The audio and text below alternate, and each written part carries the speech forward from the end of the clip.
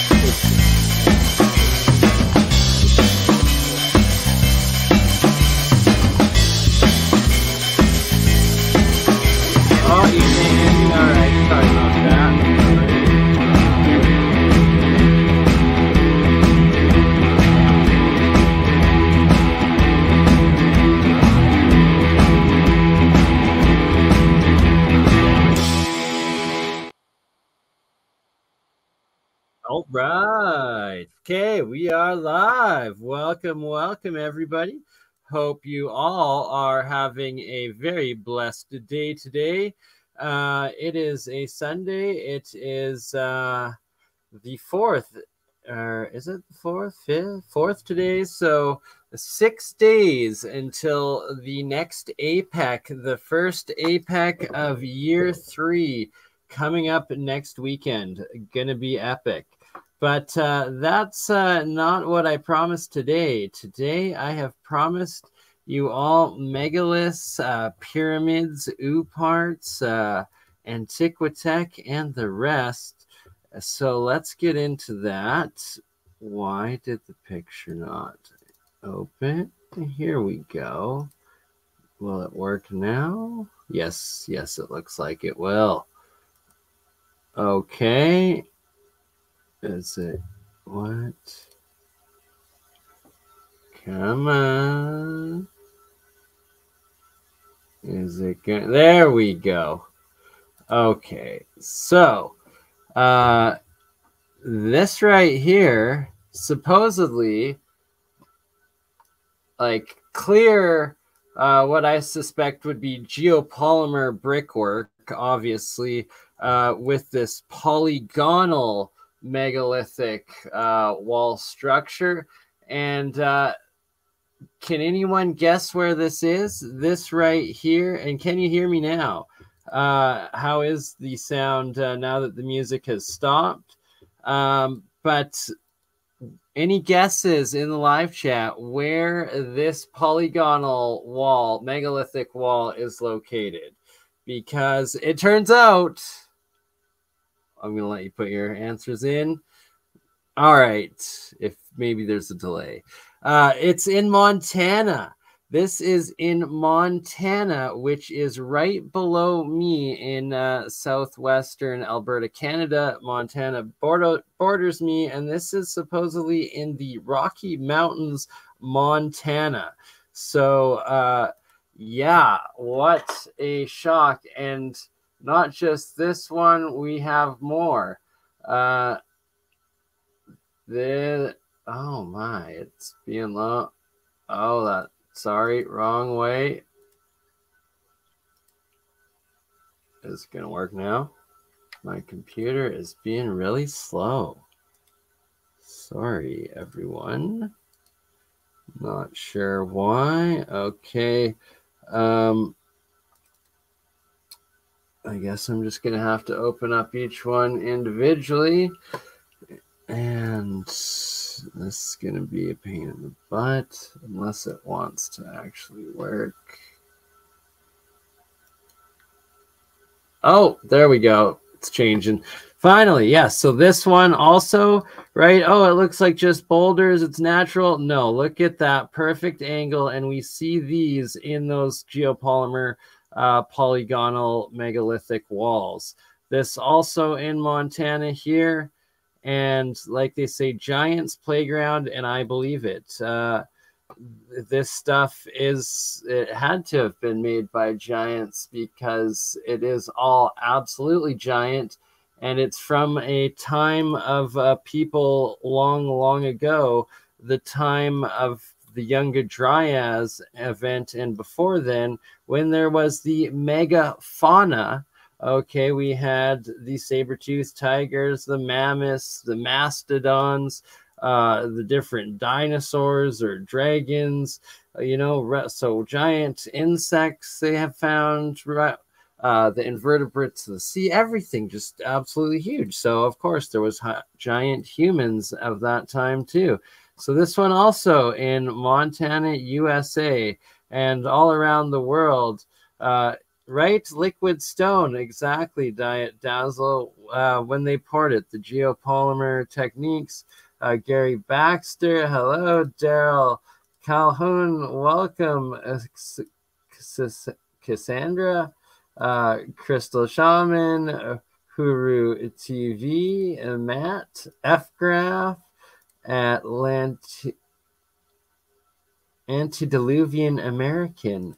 Esra, Mindful Exposures, welcome, sister. Marcia Lee, uh, I said Huru TV, I'm pretty sure. Uh. Holiday, uh, Simulacre, uh, Johnny Bones, S.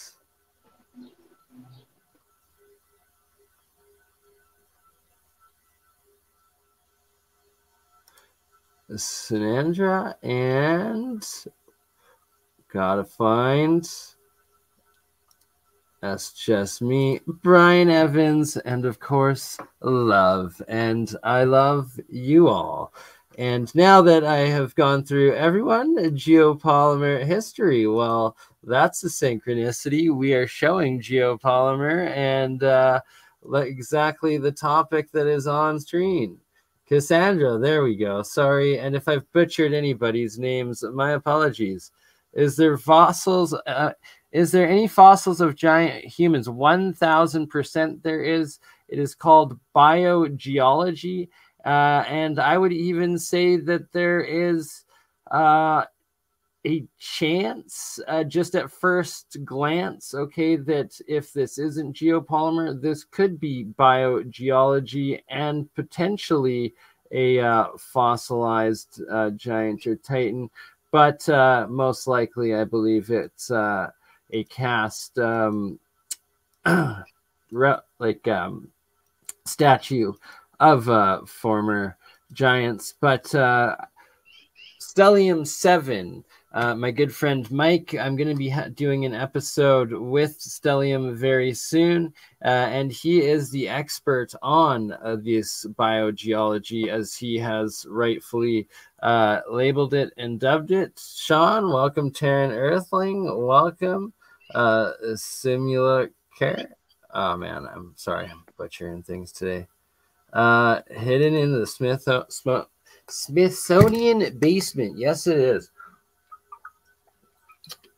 sorry that right there is uh guilty of cottonmouth uh, what happens when Bernie, uh, the BernCron Canadian, smokes too much pot before uh, starting a stream and having to speak uh, for God knows how many hours we're going to go for. All right. Anyways, so if this hasn't blown your mind, because it absolutely has blows my mind and reblew my mind right before uh, we went live here when I refound this and looking at them that this is so close to me so that uh, first we I'm going to be going in the next week or two. Finally, one to two weeks from now, uh, probably two weeks more likely. Uh, and I'm going to be uh, putting all the details out and planning it uh, in the next uh, few days here uh, in the coming streams as we put it together. But going to the Medicine Hat Badlands Guardians locations here uh, to investigate this site and get the drone up and look at all of these different ancient faces, sculptures, these geoglyphs from the sky, identical essentially to uh, what's down in Peru.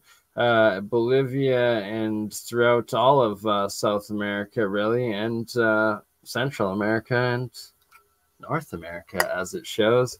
Uh, this one clearly what looks like uh, Moai and Easter Island heads potentially of the Hawaiian and different Micronesian, Polynesian, essentially Lemurian peoples uh, and cultures, races, islands that are left over of those kingdoms.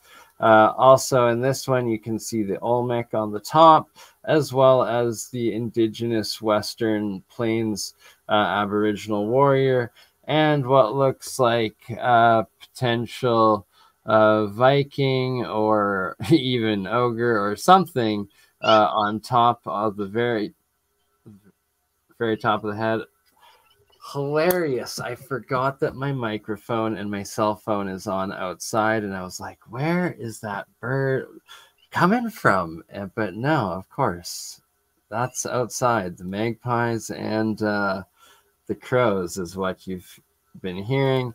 Uh, and that is the microphone you're hearing of the bird showing the different monoatomic um, colloidal ormus, also known as GANs, uh, materials uh, that I'm going to be doing all of the electroculture or agricultural uh, tests with today. Uh, later today, actually going to set up uh, the second location uh, and officially getting the trials beginning and watered and in the ground, and it will be interesting. All right. So, yes, this is what we call geoglyphs and the geoglyph radials. This is another satellite image uh, of this Medicine Hat Badlands uh, area. And what Arthur Fairham, the um, discoverer and I guess um, a rediscover and uh, lead professor academic on the science of geoglyphology, this lost ancient high tech mapping uh, technology and system that uh, you know it's visible only from high high above. Now whether it's uh, astral travel or uh, you know dreamland or airships blimps ufos plasmas uh, whatever need be, drones. Uh, it's that it's from above that this mapping system really uh, was built for on this macroscopic terraforming scale uh, of this entire valleyways uh, that they did and made these sites and uh, did this raised earthenworks of these lines uh, and angles that uh, plot out to the different radials that create this uh, territorial map, these exact uh, topographical locations around the world, like the tip of Greenland, um, Hawaii. Uh, you've got the Giza pyramids, you've got the Bosnian pyramids, you got like the tip of Finland and Norway, uh, you've got Mexico City, uh, you've got what is that? The Canary Islands or uh, in Cuba, like so many different uh, actual places that are precisely plotted out uh, around the world by this geoglyphology mapping um, ancient earthenworks uh, that Arthur Fairham has found, and that it is uh, a key part of the Medicine Hat Badland Guardian site. And it was Arthur Fairham who originally uh, discovered and brought uh, notice and fame to the Medicine Hat Badland Guardians, uh, even though he's not officially given credit for it anymore, or like he is like officially recognized, but like on the internet, you will hear so many other people take claim and like try to not give it to him, but it's documented that uh, he started his research on it and uh, decoding all of the these uh, five geoglyph radial sites um, almost a decade before uh, like he published his work on it over a decade before uh, it started trending or got uh, discovered on the internet, basically. And this right here is a larger uh, overall um, site of the valley sites of uh, the potentially 10 different uh, huge faces, sculptures, uh, whatever they are, and that uh, whatever peoples or culture society that built this macroscopic site of uh, geoglyphology and putting their literal faces into the landscape? Or was this uh, a flood? Was this an abs was this the death of the titans? Is this uh, you know could this be uh, a tit- titan bodies? Who knows? That's what we're going to go investigate. Uh, you know that could just be as likely that you know the story of uh, the old testament and um, you know the floods of noah that the giants all drowned this you know could this be a, a site or a massacre of, of them? And then that the uh, indigenous uh, people afterwards came in and made these new geoglyphs. Uh, who knows? Uh, that's just straight speculation right? I, I more likely believe that it was not necessarily these being titans, but rather the giants of that time frame uh, created these terraformed uh, mega sites and uh, structures, maybe in memory of the Titans past. Uh, that said, I have seen many, many images of uh, what are mountains that resemble uh, actual titans, uh, and that uh, they there's several of these um, you know mountain titan sites around the world, all uh, recognized by their local cultures as these holy rest sleeping titan mountains, and that uh, you know the quite possible that they're real real, you know, like uh, it, you know, they are 1000% real in that they exist and that they are these giant mountains that are actually shaped as titans. The question is, are they the remains of actual titans or did some other uh, society peoples come in with the mega technology to then do the earthworks and terraforming to make them sculpt the mountains into these monuments of titans if they're not actual titans. Uh, what I have up right now uh, is the topographical map of the Grand Canyon Pyramid Complex. Uh, as you see, uh, each of the peaks of these uh, pyramids and temples. Uh, they perfectly align with all of the heavenly stars above in the entire Orion constellation, as well as the corresponding stars that are also in the sky but not part of uh, Orion himself. Uh, each one of the temple peaks perfectly aligning with them, and that they all have uh, the sacred names such as Isis Temple and uh, Shiva Temple, Buddhist Pyramid Temple, or um, several of them are called pyramids. There's um, Apollo Temple, uh, Jupiter Pyramid, the Ottoman amphitheater, um, there his Solomon's temple uh, within this complex here in the Grand Canyon. Uh, it is absolutely astounding. Uh, this is the map. Uh, I need to get a higher resolution image of it, which literally uh, names all of the 50 different um,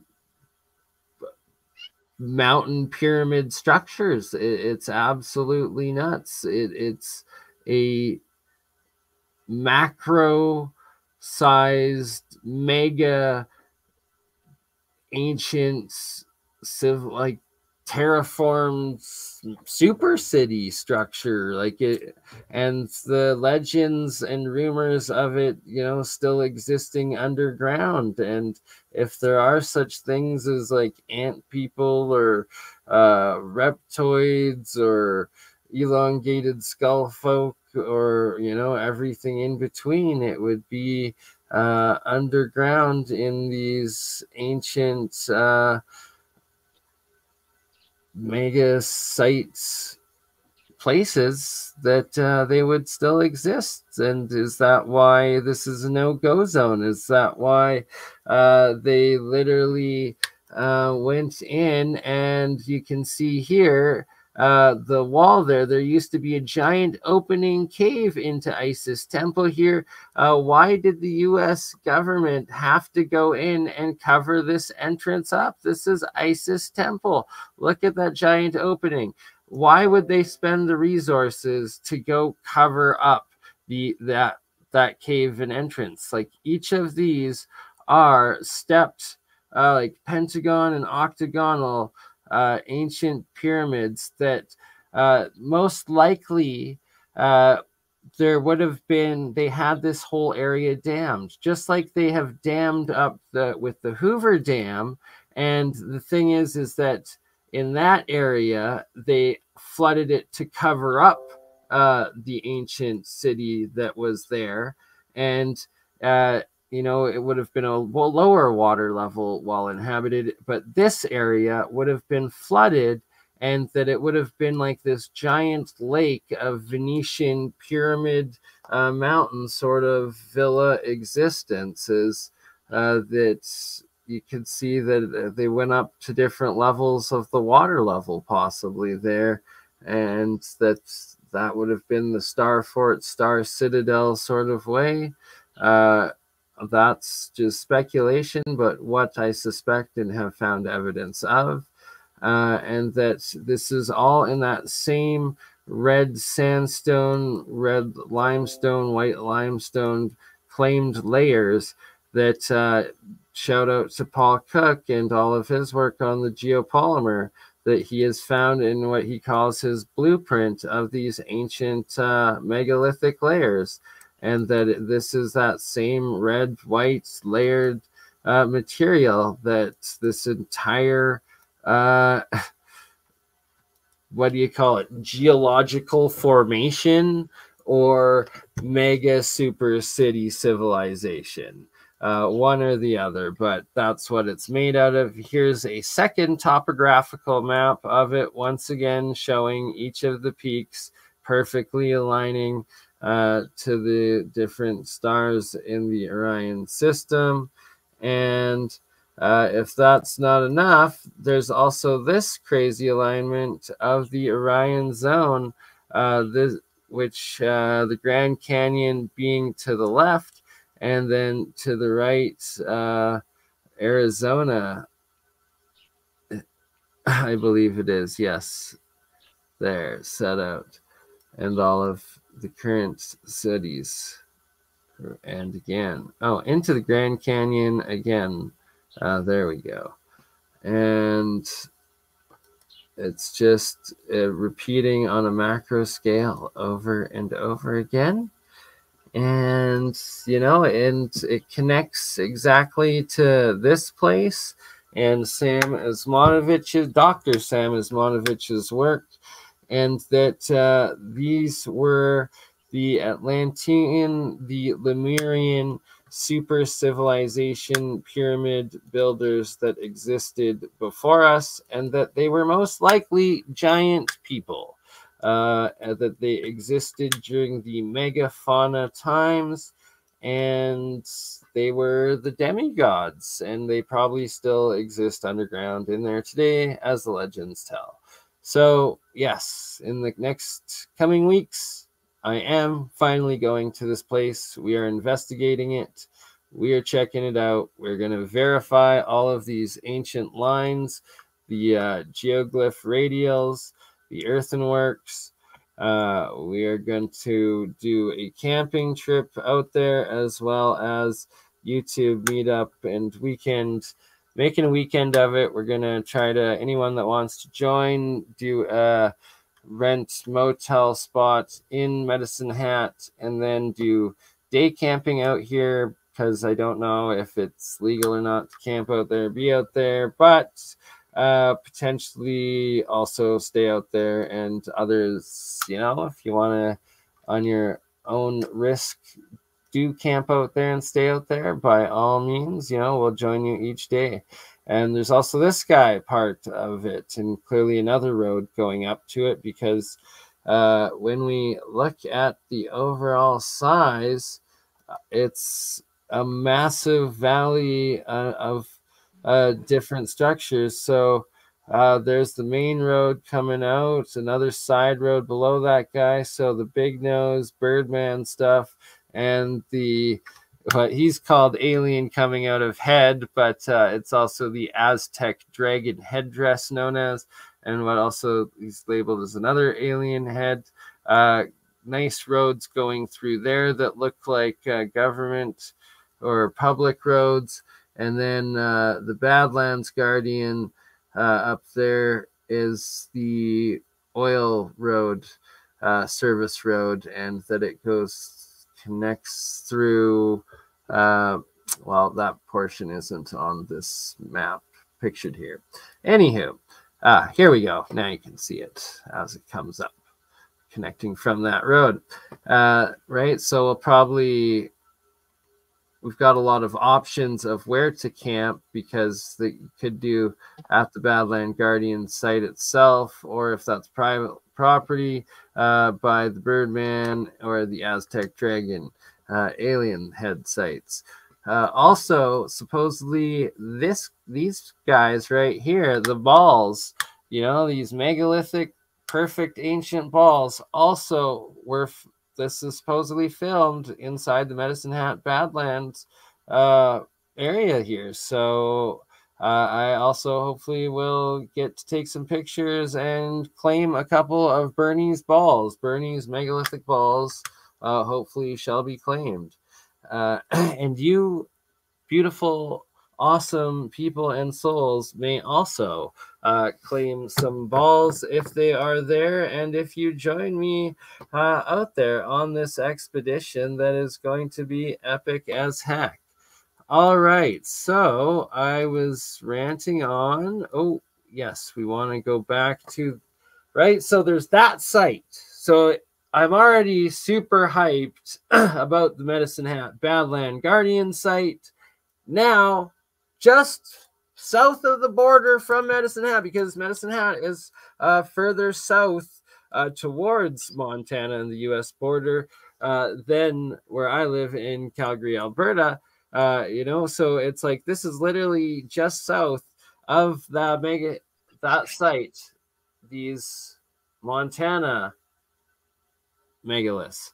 All right, so look at that. This is Russia. Look at the polygonal geopolymer work in Russia and then the Tartarian architecture then built over it. So obviously the geopolymer uh, polygonal pyramid builder, megalith builders were a civilization that predated the tar whatever the Tartarian uh, system and society and uh, technology. We're um, Grand Risings, everybody. Good day and welcome.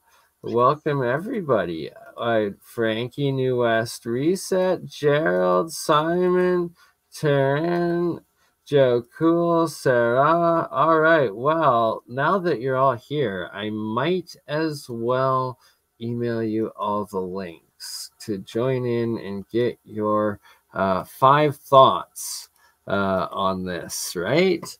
Uh, and look at this. This is another, this is one of the dolmens of uh, Montana, and these truly are uh, giant, giant Titan megaliths. And it's exactly what I've seen and found myself around Alberta, and it's a corresponding um, verification of my own theses that I had put together and started to document the evidences of uh, over the last several years since uh, you know seeing it with my own eyes and with new eyes uh, what really exists and what really we live amongst. And I just have to highlight here that I got the little guy back, and my next stream, I will show you the pictures on it.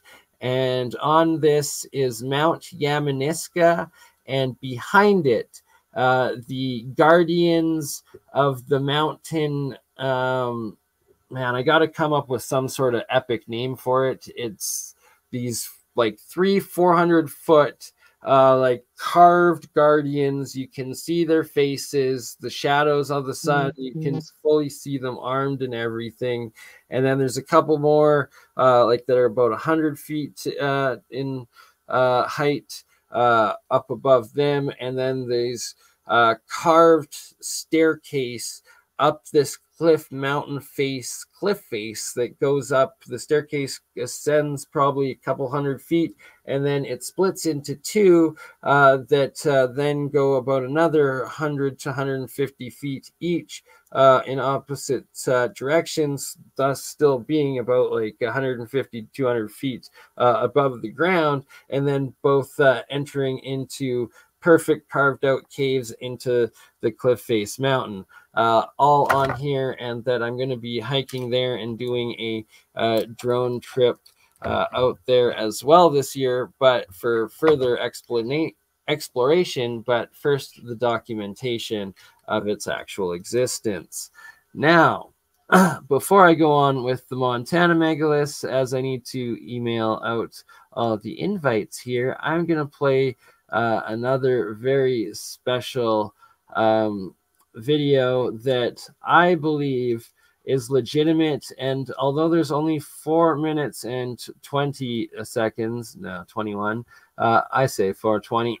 this is uh, Mystery History, another great, uh, great uh, channel, uh, two channels they do, but uh, of what is the original videos I saw when they first came out on the internet uh, they were about 20 to 30 minutes long. This is only four and four and a half minutes of the overall footage. Uh, I've actually seen about half an hour's worth of the overall real footage, and that's why I believe it to be real. And it's absolutely astounding the amount of treasures. Like you can't fake it. Like it's just it's oh my god. Like it, it's insane. But uh, they claimed uh, in the live that it was um, my uh, Persian Iranian friend, I got him to translate and to verify that they were saying, uh, and then I have a brain fart of what they were saying. Oh, Gilgamesh, that they believed that it was uh, the tomb of Gilgamesh. Uh, although now I've heard others claim that it's other Nephilim or other uh, different gods and demigods of the past. Let me know what you think.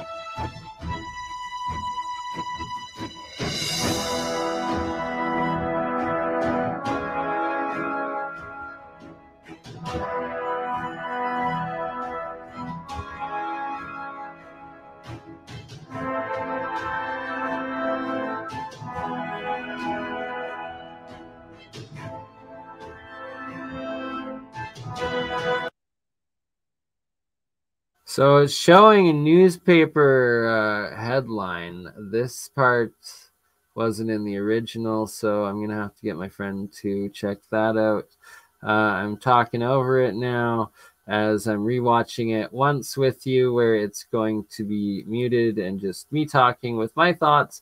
Then I'm gonna rewind it and uh, play it with their original sound as I go outside, disconnect my phone before the battery dies, email Frankie, uh, Simon, uh, Gerald, uh, Joe, and anybody. Oh, of course, Sean and Sarah.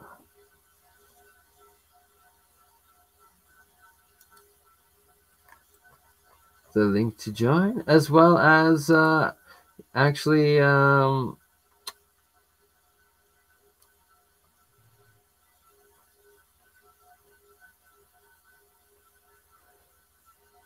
It's the Luvian American. If you would like, I can also email you the link to join. Right? And look at all of this. It's Egyptian, Sumerian, Babylonian, the same sort of stuff uh, that we see all across. And that body looks identical to all of the carvings of these Sumerian, Babylonian, Assyrian uh, demigod beings but uh, the original 25 30 minute video uh, actually shows them entering like the moments like they uh, are walking through the dark um, entrance and then getting into the actual chamber hosting the tomb and all of the riches and it's absolutely nuts. And isn't it? And uh, it brings up the um, documentation of in that one Chinese pyramid uh, where they found the mummified ancient queen, uh, I believe, like in Mercury or something, and that they could like pinch her skin and it was still rubbery and everything.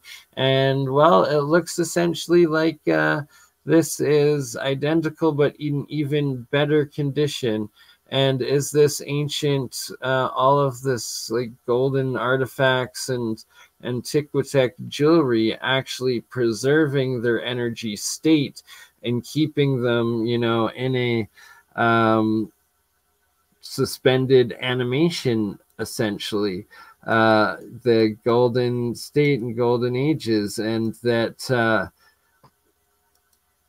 is it kept private because um, humanity parts of humanity are so corrupt and ignorant uh, that they might attack or try to destroy and uh, potentially uh, kill uh, these suspended animated uh, real gods and demigods of the past right? Like who freaking knows?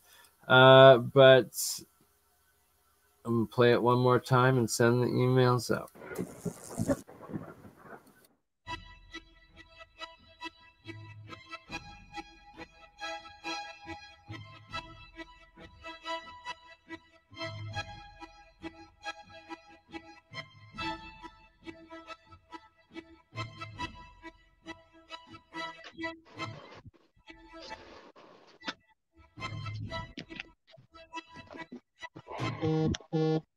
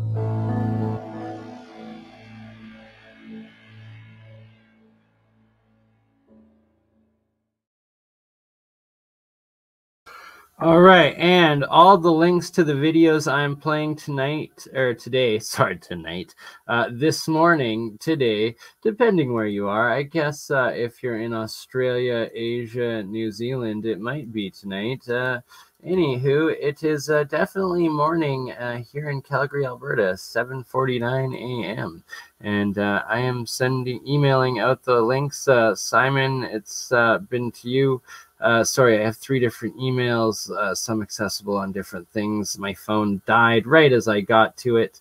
Um, so it's just charging, and then I will send out the rest uh, to all of you beautiful souls. And in the meantime, I've got another quick uh, video for you. And right here, who wants their mind blown once and for all? Undeniable perpetual motion machine. Easy toy. Anybody can 3d print it make it and then you just need a few magnets and metal marbles and you're ready to go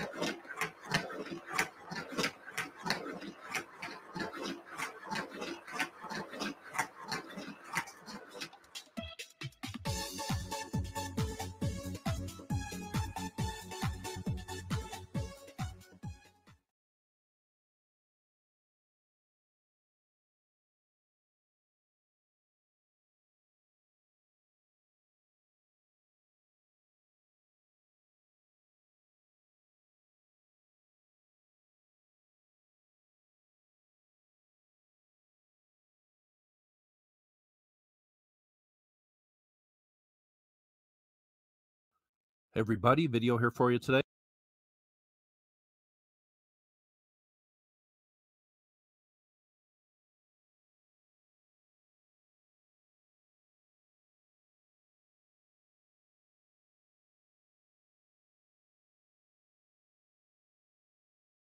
Thank you, Simon. Sorry about that. All right.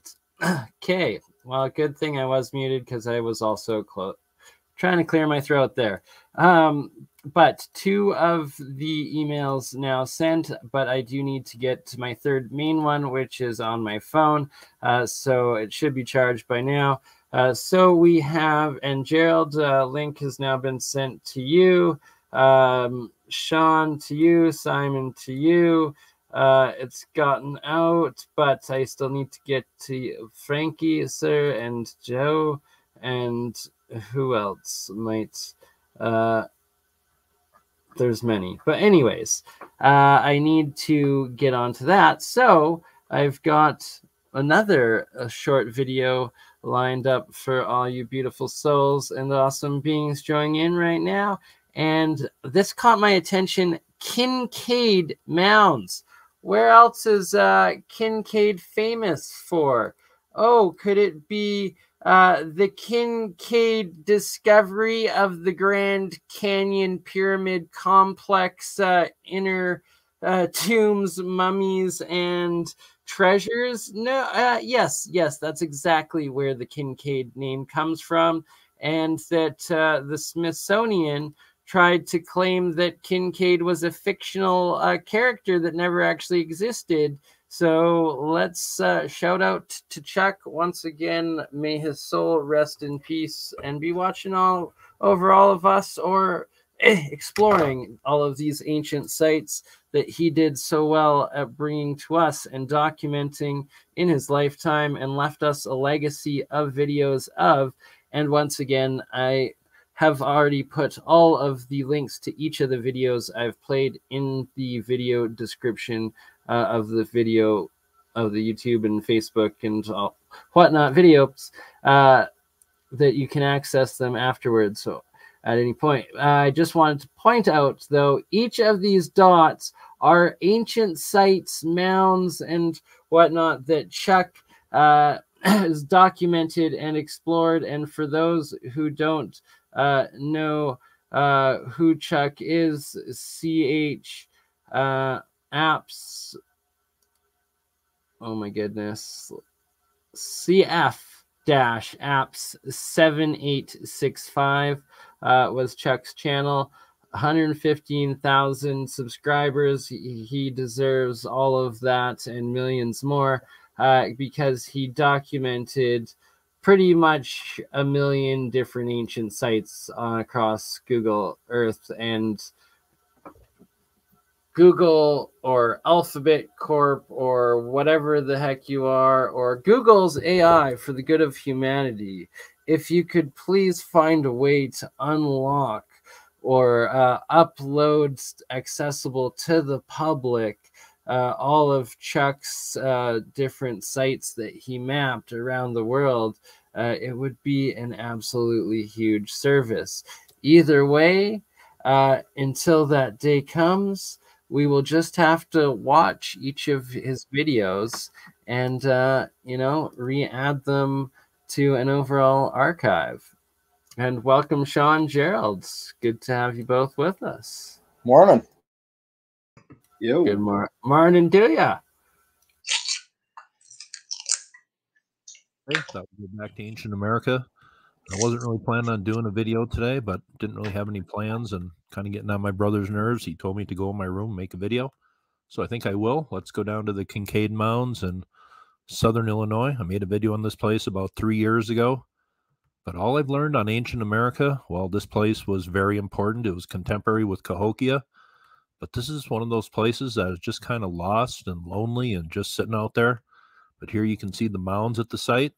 This was a pretty impressive ancient city, as I said, around the same time as Cahokia, but there is no park here, no way to really visit the mounds except park on this road out here and overlook them from a distance, and that's kind of sad.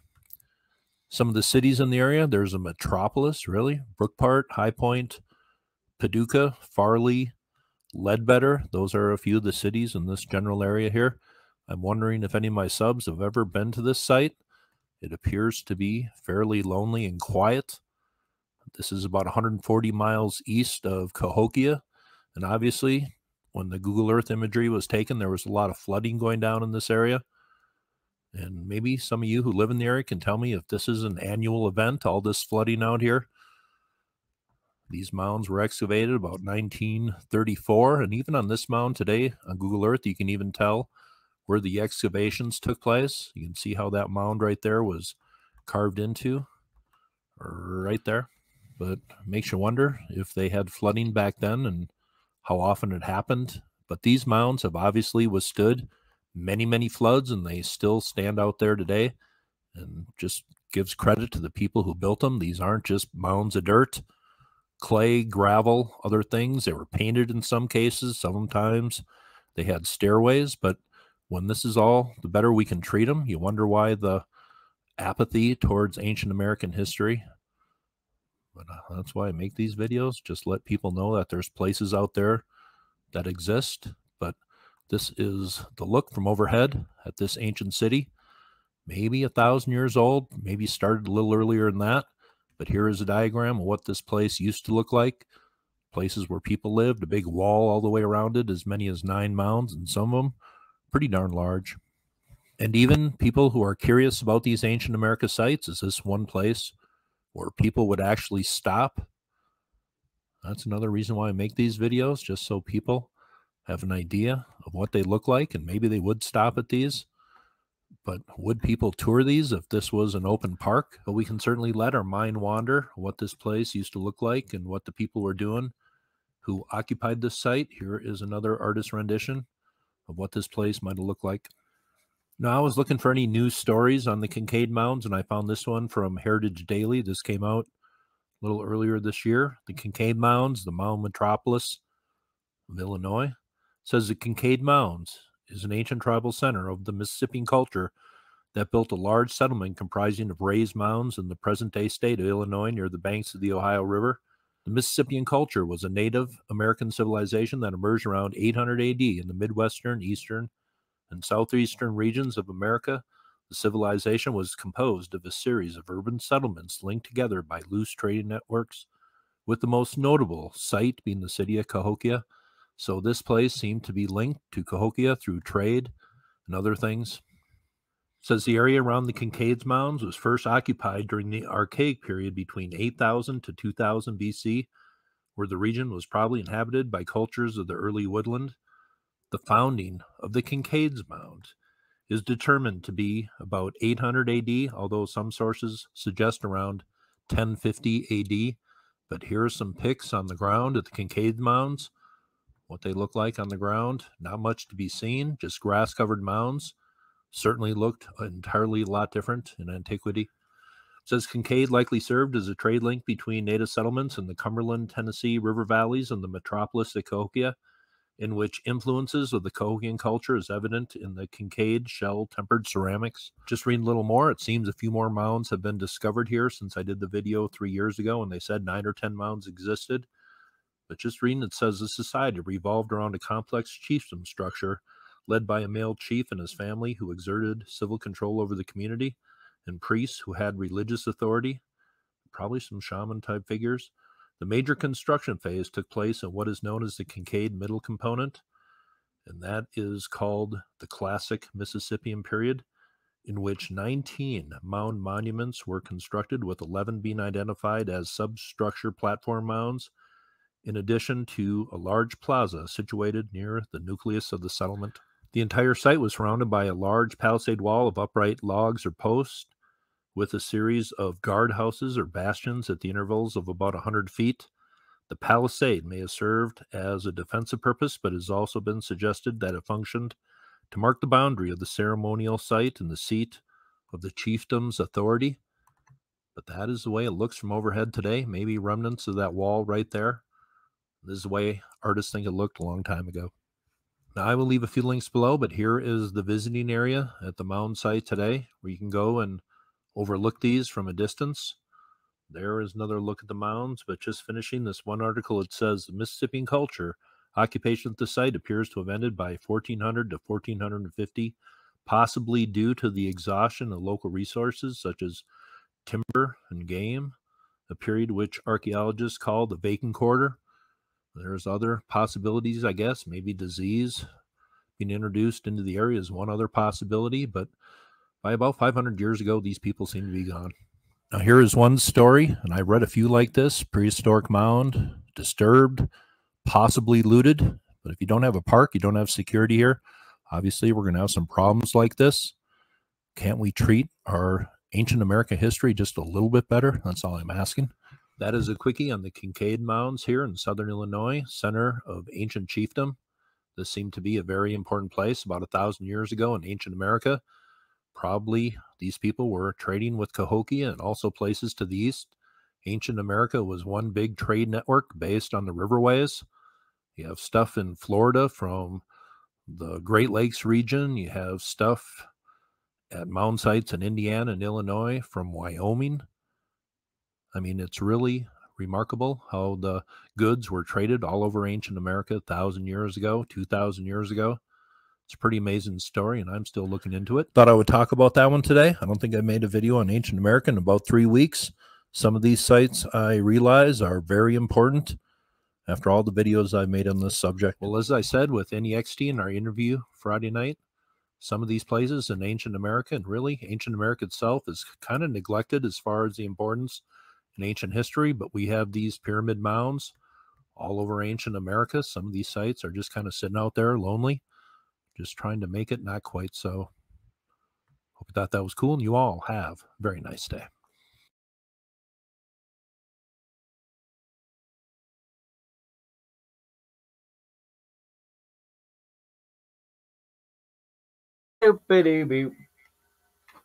And I'm back. There we go. Okay. And what did everybody think of that one? They're all over the world, all over our local sites in North America, South America, Europe, Asia, Africa, Antarctica, wherever you go. They are everywhere. Um, all right. So we have Gerald, we have Sean. What are your guys' thoughts on uh megaliths around your local your local terrain, your local stomping grounds? Those stones coming out of the ground are called kettles. And uh, there's a place near where I live called Kettle Point, and it was uh, that's where like all these kettles come out of the ground, and like it's all around the beach lines. And uh, they claim that there was only one other place in the world that did that, and that was uh, somewhere either in New Zealand or Australia. I didn't realize you got you guys had kettles up there too. Really? Yeah. That's fascinating. Yeah, and they have this they have this weird like they, they all try to push their way up to the surface. It's a fascinating thing, and they're and they're spherical. And I don't know, it just makes you wonder if they're more. right? like they they've got to be. I suspect a lot of it um, was like plasma catastrophe, sort of like wiped it out or what destroyed it or e- maybe even it was an epoch after uh, they were wiped out. And then there was this some sort of mass plasma heat like events. Like a lot of the pretty much anything that is labeled badlands in north america is usually a national park or a no-go zone and that they all have these like uh, what are called fairy chimneys or uh, hoodoos, as well as mounds, pyramids, and then in the mountains you have these megaliths, dolmens, and this is right here is another one of the polygonal geopolymer walls of Montana. And there's identical stuff across Siberia as well on the same uh, tightness scale.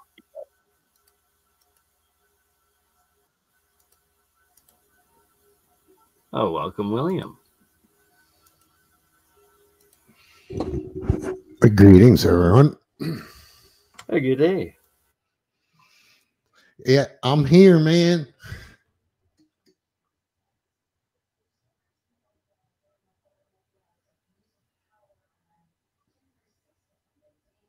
I thought for sure Simon was going to pop on. Right. Sorry about that. Um, I think he's still uh, we're figuring out the sound and video. If B and Gerald, are you with us, good sir? Well, why is He must be swirled away. I found a really good um, el- electroculture uh, guy that from Quebec, and he has his own YouTube channel. I don't know if you know about him. I think his name is. It starts with a Y. Oh darn! I wish I could just find it right this second. Yes, I, I know exactly who you're talking about, but half of it is in French. Yeah, Yannick. Yeah, but yeah, on his channel he does full Yeah. English. You, you sure some of his Yeah, pictures- Yannick, he's awesome. Yeah, yeah. There Like he was go. teaching how to like, charge water. back in the conversation. Sorry about that. I had to step out really quick. He just had to jumpstart up his heart there, you know. And anyways, shout uh, out Astra Mindful Exposures, who I am just sending the email to, as well as New West Reset. Uh, I Frank found somebody. Um, sorry, Brian. Sarah Mindful Exposures made this uh, masterpiece of a logo for Dutch. Uh, Dutchsinse, and it's so epic. Uh, but he's having internet issues and connectivity. I sent it to him. I hope he gets it because I know he will love it and it shall lift his spirits. And shout out to Julia, Halio, Hala Julia, uh, who is currently down um, as one of the hosts of Contact in the Desert right now. And she also does the Biomed Expo and the Alien event, which I'm going to try to be a part of. Uh, as Rex is also there, as is Sam Osmanagich. And I got to get to Sam so that I can show him uh, not that, but this right here, the Faram Foundation, because I have yet to ever hear him talk about, see, or know about uh, the geoglyphology of his site, and it's a whole nother verification of the Bosnian pyramids being uh, intelligent, um, constructed, advanced pyramids and they they are in fact built into the geoglyphology mapping system of these ancient megalithic pyramid builders. And Arthur Arthur Faram, all on his own, shows that uh, the both the walls, uh, the same lengths and measurements applied to his radial geoglyph uh, system, plots out uh, to the specific points of these ancient sites and that uh, he then discovered in Central America that there was this catastrophism sunken uh, landmass because some geoglyphs uh, were located from the, the pyramid, uh, the initial pyramid, which he dates to at least uh, 30,000 or sorry, 24,000 years ago, due to the fact that uh, of when sites appear and disappear in the geoglyphology mapping and uh, building of all the other uh, corresponding sites around the world and the more recent updated uh, geoglyphs. And that when you add in the uh, four cardinal points of the pyramid uh, you then get the bay of uh, Nazarenes, the southern border of Russia, still today, uh, is built into one of the cardinal points, uh, Gotland Island, and uh, down to Africa, site of many geoglyphs in Cape Town, uh, South Africa.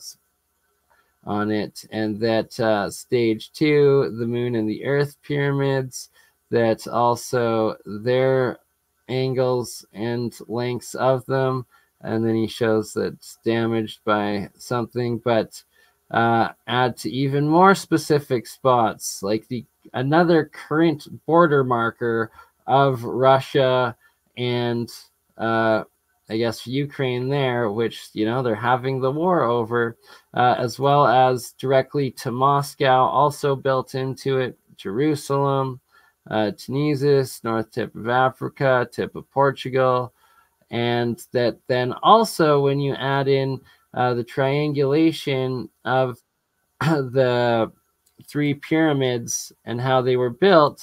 Oh, welcome, Simon.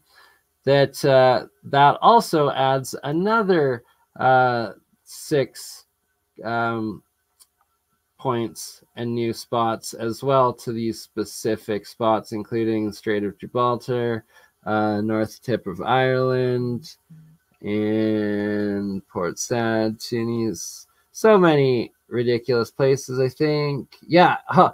Also, uh, St. Petersburg or Kaliningrad, one of the other. No, the Kaliningrad's there. So, yeah, St. Petersburg there.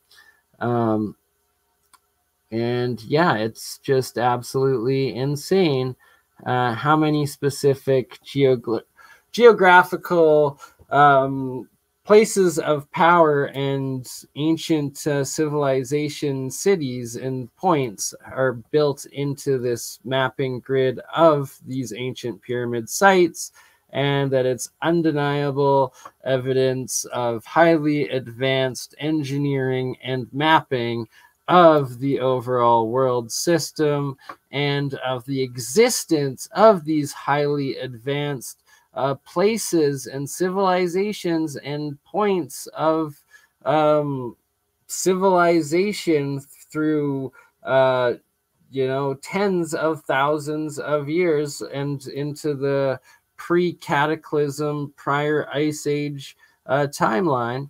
And that uh, what the point being of these Moscow borders and these current borders of Russia built into that pyramid that uh, old Moscow city itself, a citadel city, a star city, a star fort city, uh, also has the geoglyphology built into the streets and the center square point being the radials out of those geoglyphs and that uh, the Moscow city geoglyphs actually map out uh, current Russian borders as well as some boundaries between Finland and Norway uh, and Sweden there.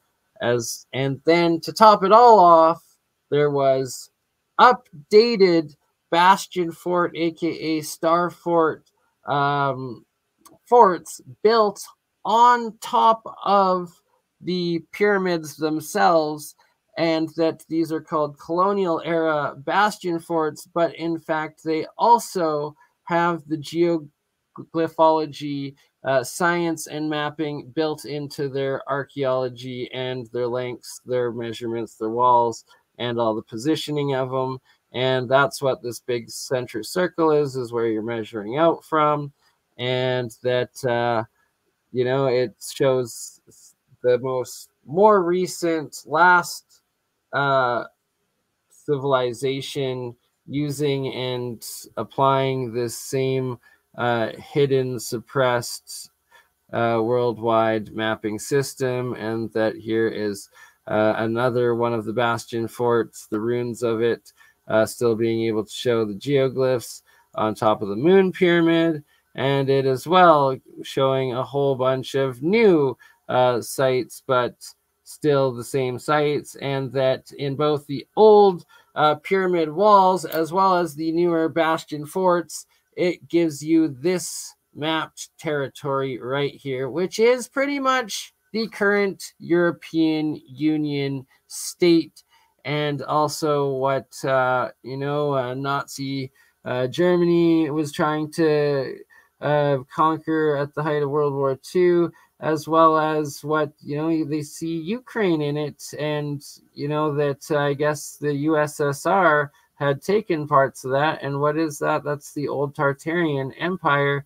And that's once again, Europe 30,000 years ago was a different territorial empire than Tartaria and the rest of the Middle East as well as Africa. And that they're still fighting for these same spots today. And this right here is one of the pyramid radials, goes exactly to this Russian European border marking and that looks ancient as heck, and it definitely is. And well, that's pretty So- ancient as heck. just to highlight how difficult it is to align things over such long distances, just look at the US Canada border. Because hypothetically, it's supposed to be straight lines for a long bit of it, but uh, it really is not. And it's really easy. You can tell on Google Maps because they cut all the trees along this uh, border. And so there's this giant no touching zone between the two countries. It's kind of amazing. You can see right and like that and, and uh, i know it's And you know what? All these we connections. can't even do this stuff today it's chemistry know. the chemister what up sham tartarian truth oh yeah shoot i still have to finish sending out that email and i will also uh send uh invite to you good shem Can you hear me? join yes yes we can loud and Awesome. clear. My mic's acting up. So uh, I was just gonna say all the connections between all these different ancient uh, sites. They all come down to um, kind of like an electroculture sense, where they brought that electricity down from the stratosphere through pyramids or through star forts, and they brought it and grounded it, and it allowed all the plants to have that energy coming in and completing the circuit. So it makes you wonder when they talk about the Garden of Eden, was it the Garden of Eden or was it the Garden of the Eden?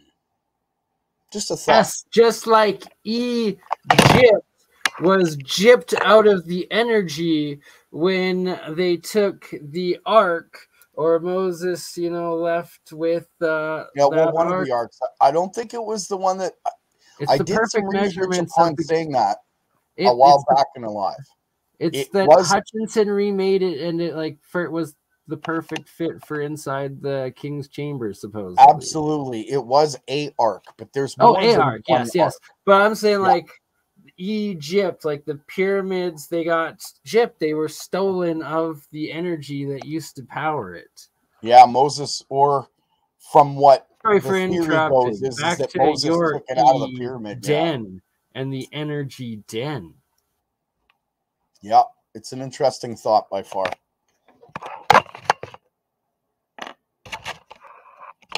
So I don't you know if it was say the, the actual. density. What's that? You could say den as in density. Ooh, The energy the density E in the Interesting. Or you could even break it up a little further and go guard N the E den. So you're guarding the E Now we're getting into the oh. real etymology of it all, and I did send the invite to Paul Knight, uh, What the Flock TV. Shout out to him and anyone that uh, is uh, into etymology and the spell casting that spelling is when you write your spells and manifest it into uh, existence. You got to check out What the Flock TV. So, what do you guys think about Eden being in Florida? Uh, I don't. I still don't really subscribe to that. I, I believe that it like it was like Eden everywhere essentially at one point, and that like the Atlantis was like everywhere sort of thing at Yeah, one it was a system. it Eden might. I, I would suspect if anything in Eden might be like an off planet or in planet or intra-dimensional plane sort of thing, as opposed to a Floridian spot per se. I've seen Well- some very interesting architecture that's in Florida, but um, I don't know. I keep thinking to South America where everything is super overgrown, Mm. you know, and we Oh, do know that they they have have down there. overgrown pyramid cities everywhere. there. And so, like now, they're using ground penetrating radar and flying over, and just like between the leaves of the trees, they get just enough data of what's down below there that they can see cities that are just completely covered. So we should really be going out there, you know, on expeditions and searching, you know, on our hands and feet, you know, looking for all these lost civilizations. Because how much are we missing out on? Was wasn't there another place up in uh I think it was the Himalayan mountain? No, was it the Himalayas? I can't remember where this place was. I'd have to look at my research, but they claim to find Eden there, and it was a uh, a spot where nobody is allowed to go, and the two scientists that went there to study it had to uh, commission to the government for years before they actually opened it up for them to go. And when they went there, they found species of birds and plants that haven't been seen in over 2,000 years. It might even have been somewhere in Venezuela. I'm not sure. Like I said, I have to check the research, but it was very interesting because uh, there were lions that were there and they were lying down with animals that normally they'd eat. And it was a very interesting place. So I'll get back to you on where that was, but who really knows where it was? It's, it's Well, I mean, if- definitely an interesting thought. if you go out into the middle of nowhere, like even here in Canada, if you go up north to where everything's on fire right now, you're going to find all sorts of animals that like we don't even know exist most likely. So uh, the people who are lighting fires, and you know who you are, you are monsters. Have you heard about They should what- hang or like burn at the stake if anyone were to ever deserve it. Like just all Yeah. the poor wildlife and like Definitely burn Animals at They the should stake. burn in that fire. like Definitely oh burn my at the stake. god. Like, Poetic. and and if the penalties were if you're caught lighting these fires to that you would be burnt at the stake, I guarantee a lot less people would intentionally start those fires or they'd at least think about it twice. Yeah, they light the fire, they go in that fire. Yep. Right? But Like have you guys? Did you watch uh, Dutchsinse's uh, yes, uh, half hour long video on how Quebec started on fire basically all Oh, within yeah. sixty seconds? Yeah, and do you know how fucking beautiful that entire area is? I've been up there. not- It is gorgeous. Not so anymore. burning it is a crime.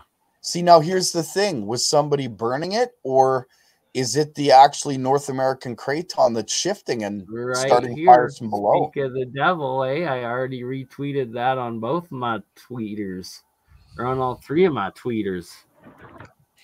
Yeah, Well, you know, I've heard of- He does something on it too. I heard of like cases where like a safety chain, like from a trailer, would just drive along and create sparks and just create a huge fire all the way along.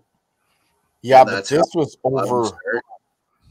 This was over a whole province, and the fires lit almost instantaneously over the whole line where the North American craton is. And up there is Cool. basically all rivers and lakes. Like I, I'm talking entirely covered. You you have never seen so many lakes in your life. Yeah, no doubt. Which makes me wonder like, could somebody actually put together multiple groups of people in order to light these fires all at once? I, I'm guessing that's the actual case. I, I honestly Mm-hmm. believe so, especially the ones that started in northern Alberta. Uh, Those I think were started by people. it yeah. all popped up like overnight and it was like documented that they were TikTok. It's all documented on TikTok. All the locals documented it, showed like that like that they were actually like apprehended a couple of people and then they like didn't get charged or something and like the police somehow like I don't know what the heck. It was effed up and then all of the local people tried to like get their own machinery, donate it, and get it in to fight the fires and put it out the first two days before it spread. And then the government and the police uh, blocked them from doing it and tried uh, arresting the people that were trying to fight the fires.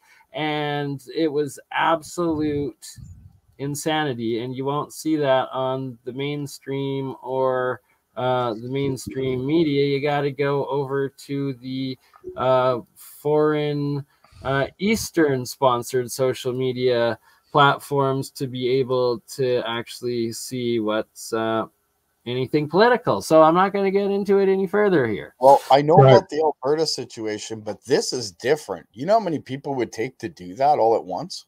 You're talking Uh, the government agents, if Military. it's a government, Yeah, yeah, Not with drones. MK no. Ultra You- drones, Well, you guys haven't mentioned you haven't mentioned DEW, or do directed yeah, energy weapons. Yeah, Yeah, that's that's also a possibility. If you look at what happened in California, they literally wiped out cars. Cars were melted. Houses were melted, And but the trees trees around them are still standing.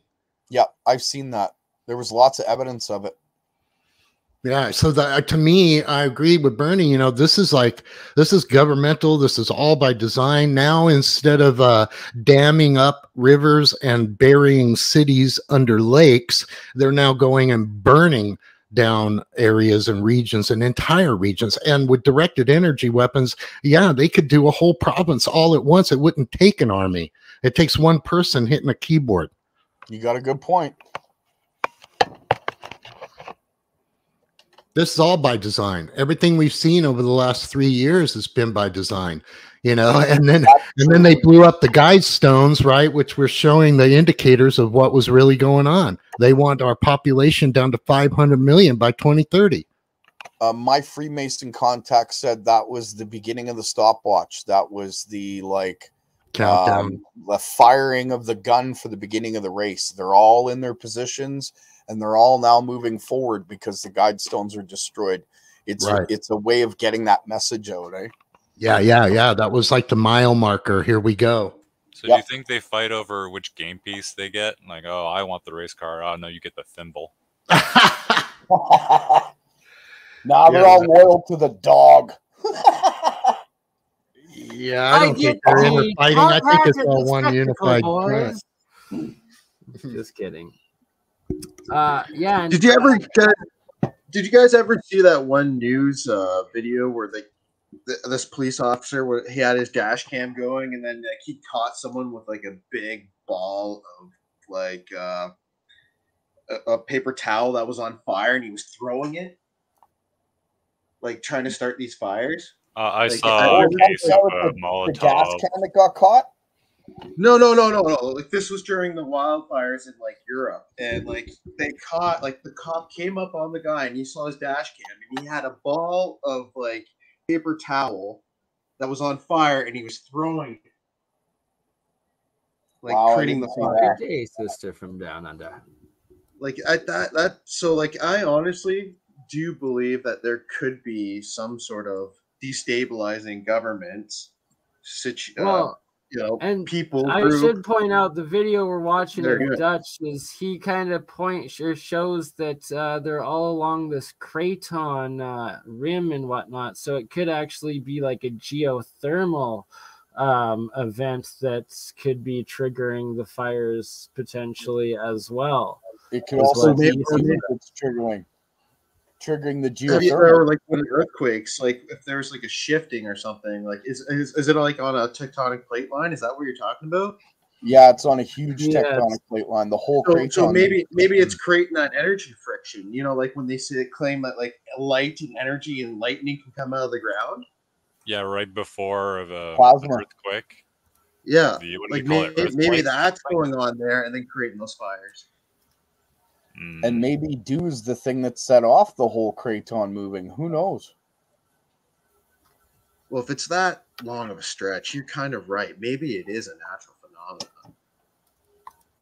It could be both, also. Like, because Yeah. I've seen enough Either evidence of way, it is doing a arson. major problem that like there's documented arson on some of like on many of the cases and then possible lots of it's natural too whatever the causes may be it is absolutely horrible because we haven't even reached it's still two and a half weeks three weeks to wait two and a half weeks from the summer solstice in the beginning of summer. It's still spring. June just started, and half of uh, the continent is on fire.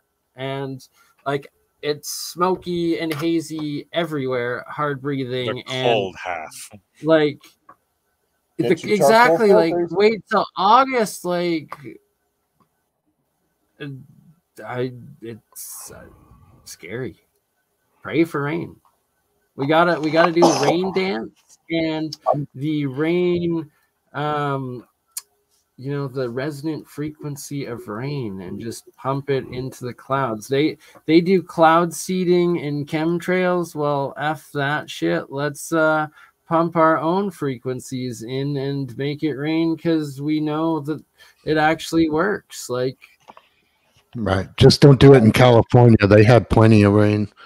Well, we should have them set up everywhere, and Right, right. anytime there's a drought, just blast it up and make it rain.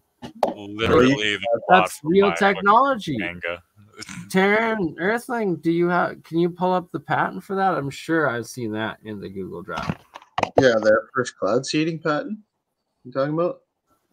like the one where it's like the World War One style of like blasting with like sound waves from the ground, like the vortex cannons that. That's- Sound I cannon. don't even know. I don't Yeah, where it's like a sound be cannon. completely. Uh, okay, well, we will. g- Yeah, I um, know of its Yeah, existence. I can show you the space and- charge. Well, yeah, you've got the more advanced ways. There's a way we can, There's there's a way we can move clouds around with satellites and uh, flying. All right, we're talking about the average folk, not what the government's doing. We know what they're doing though. No, Yeah, yeah. could- we want to go out with Orgonite and uh, set up electroculture everywhere because the more we do electroculture gardens, the more we spread Orgonite everywhere, we can, con- you know, contradict what they're doing to us. I mean, uh, it was a uh, electroculture. I'm trying to think of his name. Anyway, he, you know, he was showing a area right above uh, his electroculture garden where the clouds were clear, and all around that area there were clouds What? and they were Yeah, I would love obviously channel clouds. Absolutely, yep. It's the same principles of pyramids. Right. So uh, if we're agree with that. creating an energy vortex ourselves, right, we can counteract what they're doing to us with the chems. Just saying. I agree 100%. I actually think that electroculture was one of the base principles that they used when they were A million percent. pulling that energy down. part of the technology of the pyramids for sure and that you see all of these um, different floodplains around the different pyramids as well as the ancient aqueducts as and um, uh, canal systems all throughout and around them it's because that was a major part of it was the electroculture agriculture of it Right. You look at the uh, Palace of Versailles and the gardens around there. You know, I have to agree with Campbell in his thought that uh, these were actually farms, right? Oh, yeah. Before, you like know, the, um the different star forts especially like and uh in a couple episodes with campbell uh, the uh portuguese one is it the ah, i gotta pu- pull up a picture of it now uh the specific one that's like quite elevated high up yet it's like in the center of it it's like the basic battery star star fort bastion fort but then it's like it's like got like six layers and like it's all the way up and like they're protruding out. Sorry i know where to get the picture of it. Of course share this tab instead because it also actually fits into geo uh glyphology now that I think about it, and that's how all encompassing this ancient geoglyphology is. Here we go, the Portugal one, uh, Yeah. this guy, and that uh, I on this uh, particular one, you see all of these rows on along the. Um, oh, is there a actual one that loads up? No, frick. I need to get a larger picture of it, but that there's like a whole bunch of holes on several layers of the different um, what would be canals and used to have water in them, and it looks like the perfect potting spots for uh, like uh, essentially hydroponics, and it'd be electroculture hydroponics that they were essentially doing in these, and that I theorized that there'd be a water spring pump at the very center of the bastion fort that would then have the water coming up from an aquifer and then flood down and uh, like a waterfall down i guess each so- each uh, layer down down down cascading down. And that's how it kept the water flowing and fresh instead of stagnant in all of these corresponding canals and moats that are depicted and shown in all of these uh, star fort star city citadel spots but specifically in this one because it's so high up and that uh, there's ah, I gotta get a better picture of it. Uh, I'm failing right now. Where is it? I shall find it. And Well, also, you know, you've got a lot of uh, underground uh, rivers and stuff that are going under some of these cathedral sites, right? Where they were using the the sound, using the frequency to activate the waters. the, yeah, the cathedrals, as well as the pyramids, as well as the star cities and star forts. So All Right of under the them. Bosnian pyramid. Yeah, ex- right, exactly. The Bosnian pyramid, specifically, all the work of Sam Osmanagich and their team there excavating it and showing all of the different uh, water systems through there, the undisturbed, uh, perfect, tranquil waters, as well as there's still one active stream at a lower la- level flowing through uh, the very basement of the pyramid. Uh, but th- it's documented that there were all of these fountains and actual aquifer built into the engineering of these uh, star cities and bastion forts and pyramids, and that uh, it it proves that how advanced the engineering was, while simultaneously that it had to be built literally from below the ground up in these macro formed megalithic geopolymer structures. or or it was ground level and then it got covered by the mud flood. You know, think of that as they were building up, they were actually at the real ground level during that period of time, and then they built up and then did this geoforming. But it was also to move the water that was coming in from the flooding, right? Some of it, some of these forts were actually ways where they were escaping the water that was coming in. Depends For on sure, the period right? Yeah. especially like in South America, for instance, and in uh, Asia as Mhm. well. Yeah, I remember hearing like uh the well, one guy's claim was like a comet came flying in and smoked the South Pole and then at the North Pole and blew all the water out and into space, and then it came raining down and flash froze everything. Yeah, I heard something similar where a comet came and hit the Greenland ice sheet, and uh, that's what In caused northern mini ice age. well, supposedly. Right. well, basically, all of Canada was covered in an ocean's worth of ice. So Right. anything striking here would be a very bad day for anything everywhere. right. Yeah, that that's supposedly what happened to end the Younger Dryas event. Uh, Randall Carlson, Graham Hancock have done some great work on proving that. And that when it melted the ice sheet, that's what would have formed the scablands and all of it rushing, uh, melting into the oceans, rising the oceans by 400 feet in uh, what they now have determined to be less than four years. the mega tsunami alone would have just destroyed everything, even without Oh, an oceanic rise after.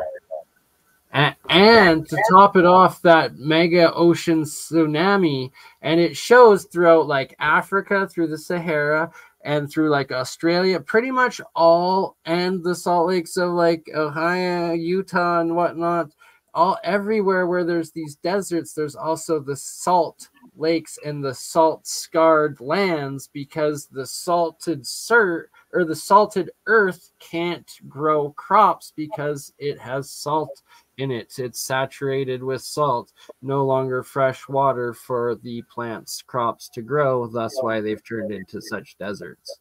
And if you ever noticed, underneath like a lot of the freshwater lakes and stuff is a giant salt bed, Mhm. right? Where they Right. had salt mining, and then of course they got flooded in, and I don't think that's really permitted as much anymore. The fertile areas in Canada, the reason they're fertile is because there's a whole bunch of fish and stuff that lived there, and then they became soil. Right. That's what uh, the San Joaquin Valley in Central California.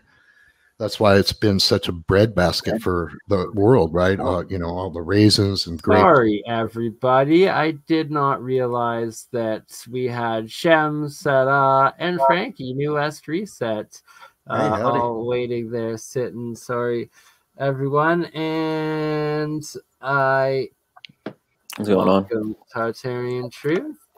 And I finally have the picture, this right here, of the one in Portugal, and that you can Yeah. see all of these whole spots. Like if water was coming from the center, then cascades down. Each of these engravings could have had water wheels that were machine powered.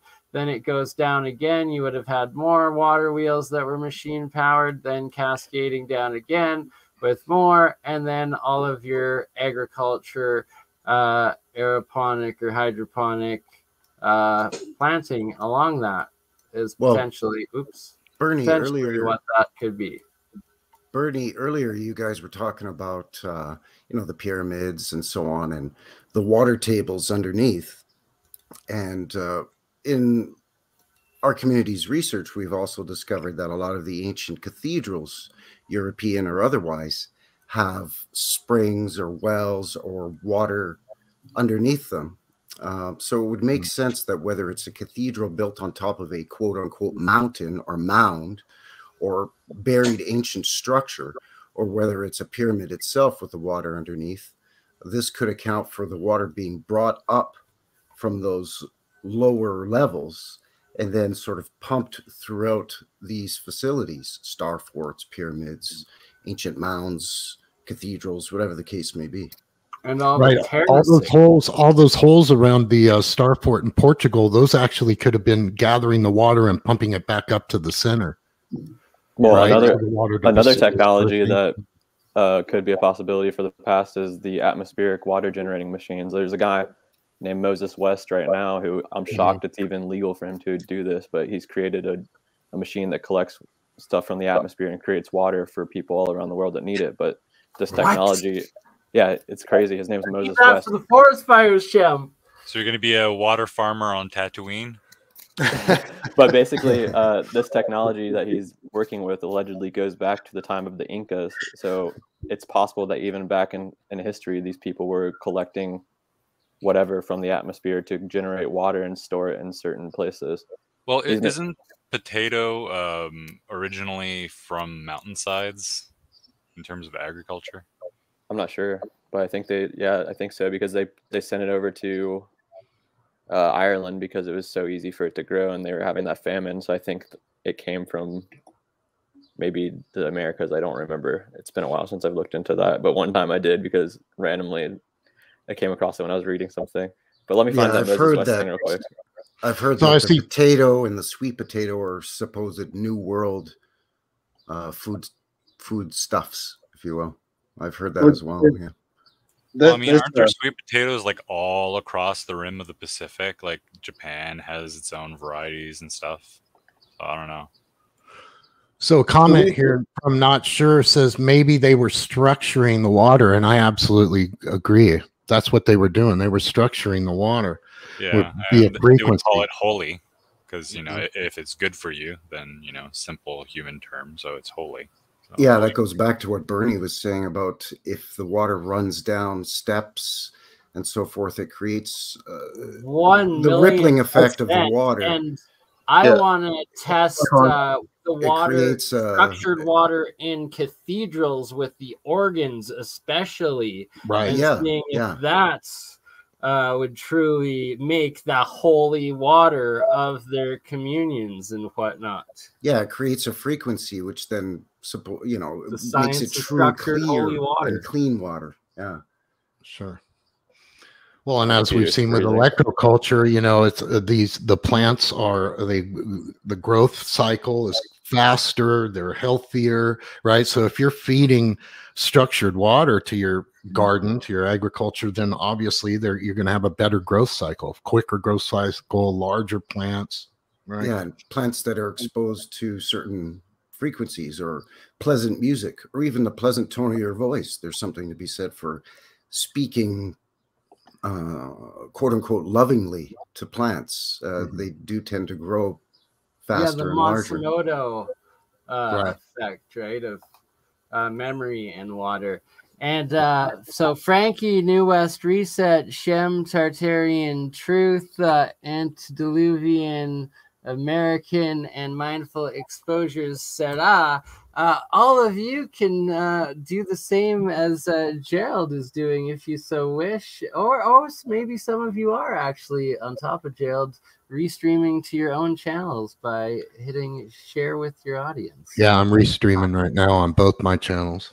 Excellent, Yeah, I'm, right? I'm only hopping on it's for all- a second, but I gotta I gotta get back to editing a video. I just want to say what's up since you invited me. But yeah, this is the machine right Fair here. enough, You you can see here it's pretty big, but he generated this water that's coming out of here from the atmosphere apparently, and he basically just goes around the world providing water for people in need. I don't know why they didn't do this in Michigan for the longest time, but I think they are now. Does he say how it That works? is amazing. or- Can you please uh, is- also post the link in the private chat, brother? Yeah, I'm this is just his website. that. That's amazing. Yeah. Yeah, You could do guys- That's what it's I'm, like. I'm shocked he's I'm shocked he's still alive. He hasn't been assassinated or anything yet. So there maybe there's something else going on with it. Who knows? But Yeah, shout out Mo- Regardless, shout out though, by West. bringing awareness to all of these inventors and all of these ways, it's a good way to help uh, encourage and ensure their survival. And that if this is a practical way to actually harness or access atmospheric Well, I just want to make sure it's not just like a Peltier device because that would be kind of it's a don't web device. Peltier It's device is what you use in a, an AC unit. Yeah, like a dehumidifier, just a giant It's- dehumidifier. called an at- Yeah. atmospheric water generator. Because like uh, it, it, if it's just like grabbing the uh, the moisture that's in the air, that's one thing. But if it's Yeah, pulling it down or something, from that's the different. atmosphere. Yeah, like Yeah, i- if, if it's pulling it towards the device, that's that's completely different. right, let's Oh, check, yeah, let's check out like what it it's says real quick. This is what it's called. A device that extracts water from human ambient air, producing portable water or water vapor. Oh yeah, see, it's Yeah. from the air, not the atmosphere. So the problem would this- be if in this the doesn't appear to be fire the same. situation for Sorry. fighting fires, it wouldn't be practical. But like in the nighttime, it would probably harvest the dew every night and whatnot. So like it would provide good drinking water, hundred percent. I don't think this is the same thing though, because it's it doesn't mention Moses West at all in this Wikipedia arc- article. So it Yeah, might be we'll, something we'll have to look I'll up t- his yeah, I'll, I'll have to get back to you with that. But uh, So, thank you. regardless heads all of these technologies should be being looked at and anything that is able to be easily or cheaply uh, replicated and utilized uh, should start to be doing so everywhere as you never know. You can never have enough accessible clean uh, drinking water and water in general right? And especially if you can set them up in remote locations and if it's connect collecting just from the ambient air uh, around each night it would definitely like fill up through the dew regardless of hot uh, dry days Yeah, the only issue with the Peltier device is that it's not very energy efficient. So, uh, unless we Uh, have I've- I've- free energy, i've got another one looked up free energy, then it's fine. and But you know, simon i've got uh, the link shem shared and it's a little different than uh, what you've got in mind my friend Yeah, well, I'll have to look into this more and maybe find like a patent for it or something and see if he describes how he does it. So I don't, I can't find anything on this website. It's barely loading. My computer's awful. When I'm streaming, it barely functions. But yeah, It's- just he calls them hydro panels and it uses the power of the sun so okay so it's got built-in solar panel into the fan water cooling collector system and it actually uh, it operates during the day and collects the water during the day and night through the energy it collects through the solar panels so is it like a thermoacoustic resonator or something? Uh, it is solar panels combined with um, hydro, what he calls hydro panels. Here, I'll pull it up. Uh, Well, because I, I was looking at it, I, I haven't read um all the. oh, you opened it up of it. too. Uh, obviously, he shared it in the back, so you opened up the same one. I'll see if I can find the patent for it too, real quick before I get off here too. And uh, Shem, I do offer uh, even though you are going, we are going to just keep it to pyramids and such. If you want it to be live to get uh, build up your get you to that 4,000 hours again, uh, rebuilding your channel if you'd like, and can chill uh, some people your way. And Frankie, New West Reset as well, uh, recently reaching that 1K. Congratulations, my fellow Calgarian, Tartarian, Targaryen. Thank you, thank you. Yeah, yeah, it was uh, pretty stoked about it, and I've arranged a, a meetup for uh, this coming Sunday, June the 11th at uh, one in the afternoon, meeting up on Stephen Avenue, historic Stephen Avenue downtown. And we're going to do Hell a mud, yeah, mud flood there. walking tour. Yeah, looking forward to it. It's going to be great. That's really just an excuse to meet up with people and uh, do the mud flood walking tour. And we're going to start on uh, 8th Avenue and 6th Street Southwest, and we're going to end at City Hall downtown, the old City Hall, which is an amazing building, by the way. Yes, it is. And um Shem before sorry, cut you off, Frankie. Shem before you go. And Frankie, uh being in Calgary, Alberta with me, this in Montana here. Uh this clearly megalithic polygonal geopolymer walls where you can see it's the exact same as everywhere else uh, that has them around the world. This also is in Montana as well. These giant megalithic geopolymer uh, wall blocks. Uh, this guy right here, part of the Montana megalith. You know, I wouldn't be surprised if there's some of that in the Badlands in southern Alberta where you're headed around. Oh, I've already, I've, I've been seeing them for years. I know several sites where they are. Uh, because you know that uh, that area down there used to be part of uh, the Louisiana territories prior to the Louisiana Purchase in 1803, and then you know coincidentally just a few months after that you had the Lewis and Clark expeditions in the U.S. and you had the David Thompson expeditions here in Canada exploring that whole region. Sus. right and so frankie uh, do you know like uh, when you're heading on the number one west uh, towards canmore and banff and whatnot uh, which mountain mount Yamnuska is it's yeah, like the- Mount Yamnuska is the big cliff face one. right that giant huge cliff one Yeah. so um from behind when you climb it and on the opposing side going into the mountain uh, valley and the next peak on the opposite side of the valley and then it's like the chain of mountains all the way through the rockies going westward from there uh, but that opposing peak I've got pictures that I'll be uploading, and it's another spot I'm going to be going.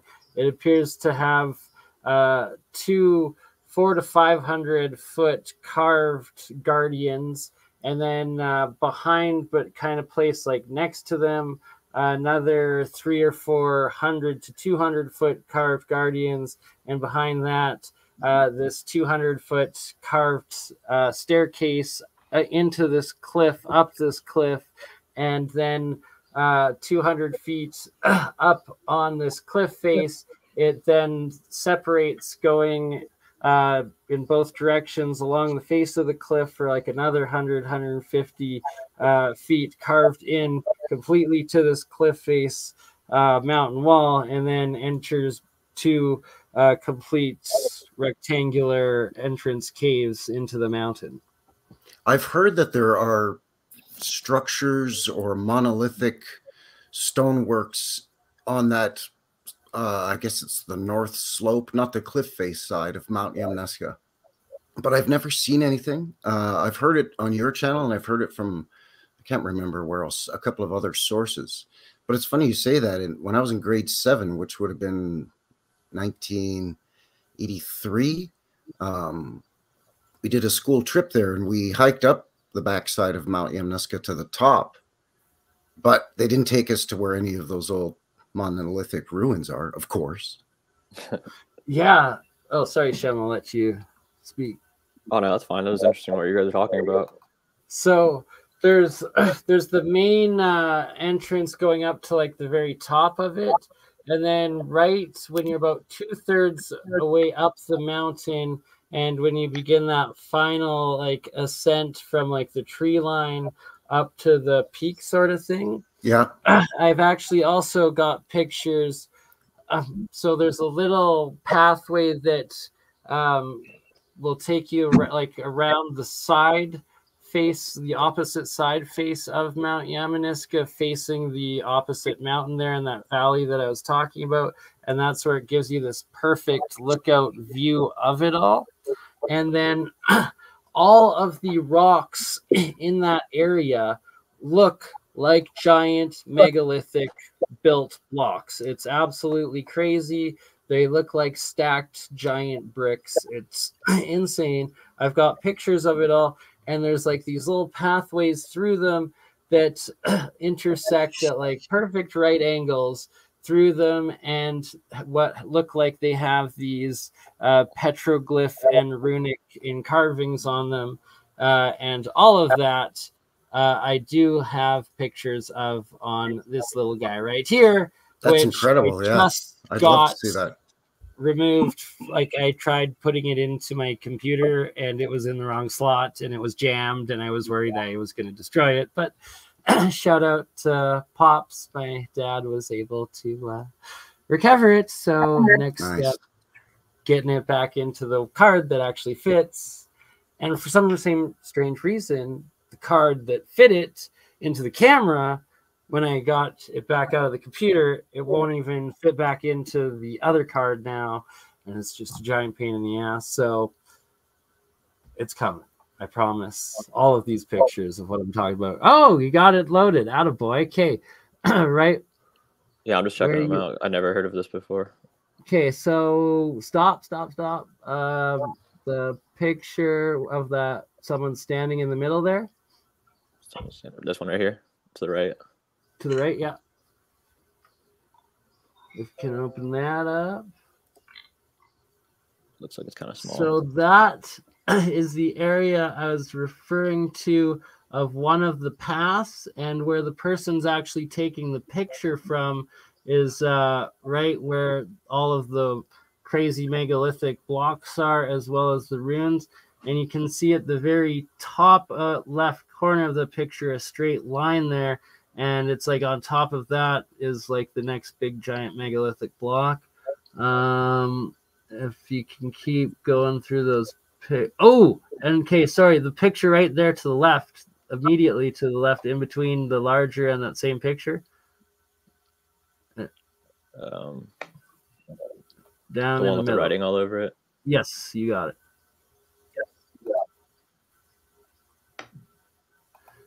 um Yeah, I don't know why these are so Okay, so in the very far ground, you can see a bunch of lined, big.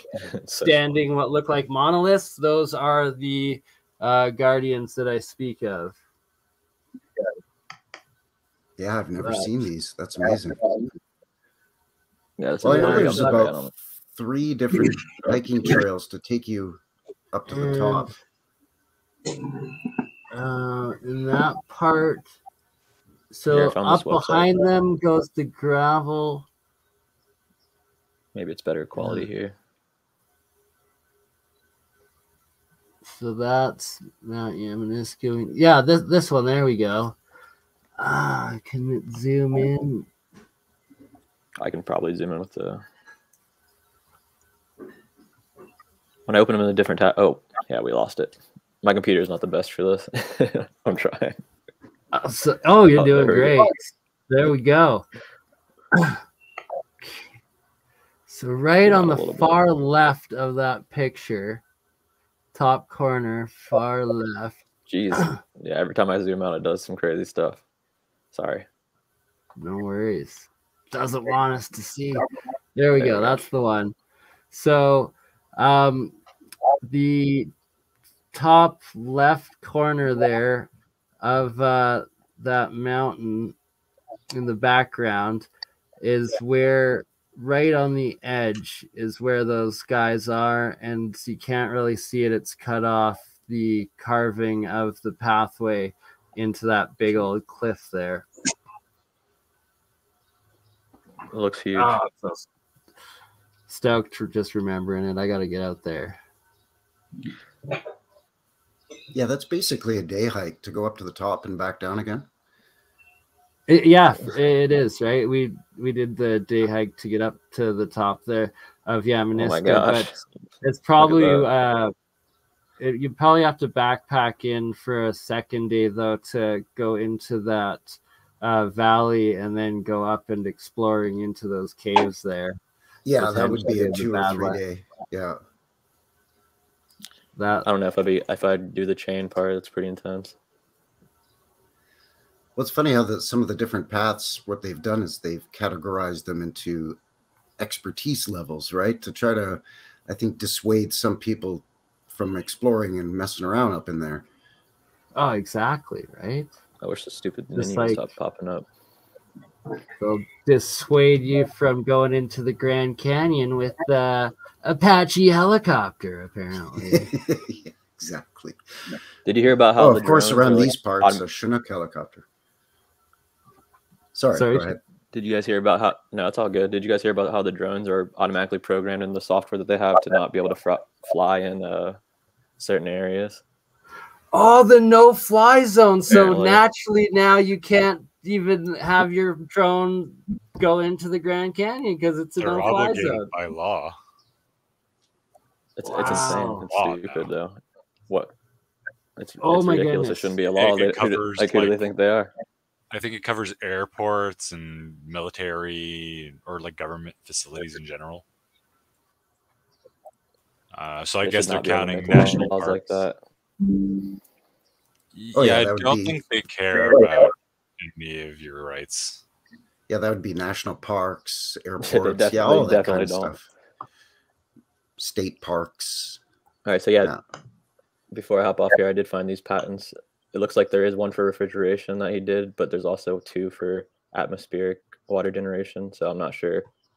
I sent the link in the private chat if anyone wants to look into it and or post it on YouTube for anyone to look into. But yeah, overall, I mean, I don't know much about the guy. He could be a part of something ridiculous, but it seems like he's genuinely just trying to help people get water. So hopefully, Oh, this technology Absolutely. becomes widespread and nothing bad happens to him. So, Yeah, it seems pretty legit. all right, well, Oh, If you're one right- last thing Appreciate- before you appreciate you go, having me on. Shem, just to finish it off. Uh, shout out to Hallie Julia, and I'm bringing it up because Julia got a picture of, I believe sh- this is, she says Isis Temple. I actually think it's Shiva Temple. Uh, when flying from Vegas or over Vegas uh, of the Grand Canyon here, and I don't know if it's large enough for all to see because it's on Instagram. It won't let me enlarge it, but uh, in this actual picture, you can see what looks like a sphinx face right on the top there of uh, the center of this pyramid, and then what looks like two paws going down. And is that the sphinx of the Grand Canyon? And I believe that is. Um, she says Isis. Uh, I forget. sorry, Shiva Temple. Shiva Temple. Could be a different one. Yeah, it's, I'm- it's pretty cool. but it's like there's 50 of those in there and that's what they're not letting us see and one of them is also called solomon's temple i bet that is the real solomon's temple and now we will let you go shem thank you for stopping in brother much love Thanks for having me. Have a good day, everyone. Take care, Shem. See ya. we have uh Seta, mindful exposure back with us and frankie new west reset Howdy, howdy. Um, so you're doing an 11th meetup downtown at uh, the historic. Um, Stephen Avenue. Stephen Ave. Sorry, jeez. Yep. Stephen Ave, and then so I'm gonna have to make it. I guess the week after that, or two weeks after that, Medicine Hat Badlands, and you're gonna have to come down. Uh, Oh, to yeah. that one. Oh, absolutely. Oh, for sure, there, bud. Eh? You know I'm Oh, gonna for be. sure, eh? We'll go stomping around party. this place together, eh? Go out for a rip, eh? Go We're up just north. gonna rip it up down there, bud. Find some balls, eh? Is this what you're talking about, kettles, or is kettle something different? Which No, those are formation is the kettles. kettles? Those are like these are stone kettles. kettles, Stone kettles. Okay. Crazy. I've seen pictures of them in like uh, Siberia, Antarctic uh, beaches, um, Northwest Territories, supposedly, the Bosnian pyramids, uh, Nan Madol, supposedly, also. Uh, I believe Easter Island and Hawaii also have them. I think somewhere in Asia too. Uh, Yes. Cambodia, Laos, uh, uh, someplace like that, Vietnam or something. I, I can't remember exactly, All of the but in above, that I sort of think. area, yeah. I think every place you just listed also has. Probably, yeah. I mean, the borders are you know arbitrary, really, right? right? But it's like they tried to claim they're only in two different places. Well, they just give them different names, and uh, there you go. Well, those aren't kettles; those are blah blah blah, whatever, right? Uh, uh, lava bobules or whatever. It is What a- insane. Um, Esra, are you with us? Are you? Are you muted? Yeah, I was actually trying to pull up some of the research I've been doing. Um, I know I talk about Oregon all the time because I obviously live here and I'm sort of Well, obsessed. but exactly. You're our Oregon's plug. You're the plug Right. of Oregon, dear. Give I- us I literally our live in land, too, alternative history, Titan Mountains of Oregon.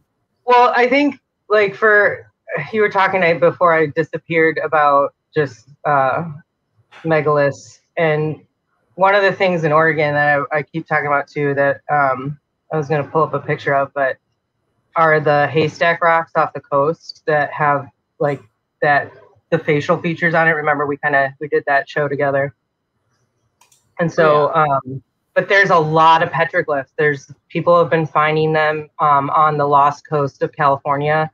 I, you know, kind of not like tried to go find it. I didn't have enough time to truly search because there's a lot of there's actually a pretty good sized chunk of remote area. But um, one guy's reported to have found some um, on the cliff sides, and then you know Oregon, like we've talked about, has it was considered the first or the oldest known human settlement until I can't remember what.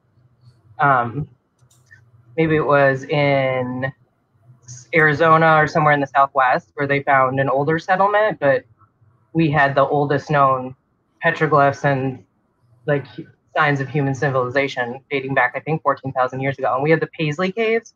And I have, they don't give you these locations, but I have gone through Google Maps and I have found where these are. So, um, in some of these places, I've been really close to these areas. So, I'm planning trips this summer. And some of these areas, I got to go like later fall because it gets too hot um, because it's high desert. But these are remote, remote areas. Like nobody lives out here. Um, so there's, it's really fun on top of looking for this stuff because you're in the middle of nowhere by yourself. Um, I'll pop up some stuff if you want me to. I was just trying to find the folder that I specified for this specifically.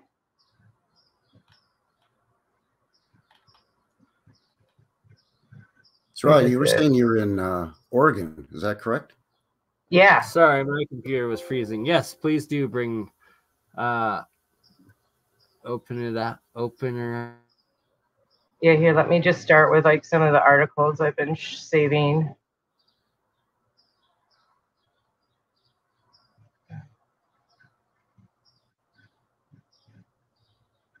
Okay.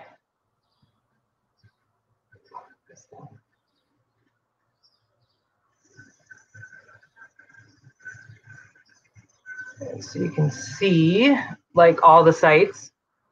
Oh, and there's a cave that I found out um, that's not too far away from me actually that i can easily do in a day trip so. Oh yes simon. Actually that's something i i carry other tools with me because i do go by myself a lot. Like oh bernie i had a bear encounter after our uh after our live the other day and that's my second bear encounter in a couple of years synchronicity. The bear Yikes. brought you a bear. right it was a good bear. It wasn't a harmful bear. No, it wasn't. And actually, what I, um, to be honest, I've never seen a, a Wolverine in the wild, and my mind went there at first. Like it would have been a really big one. but The it wasn't a bear full drove bear. your mind It was a- there.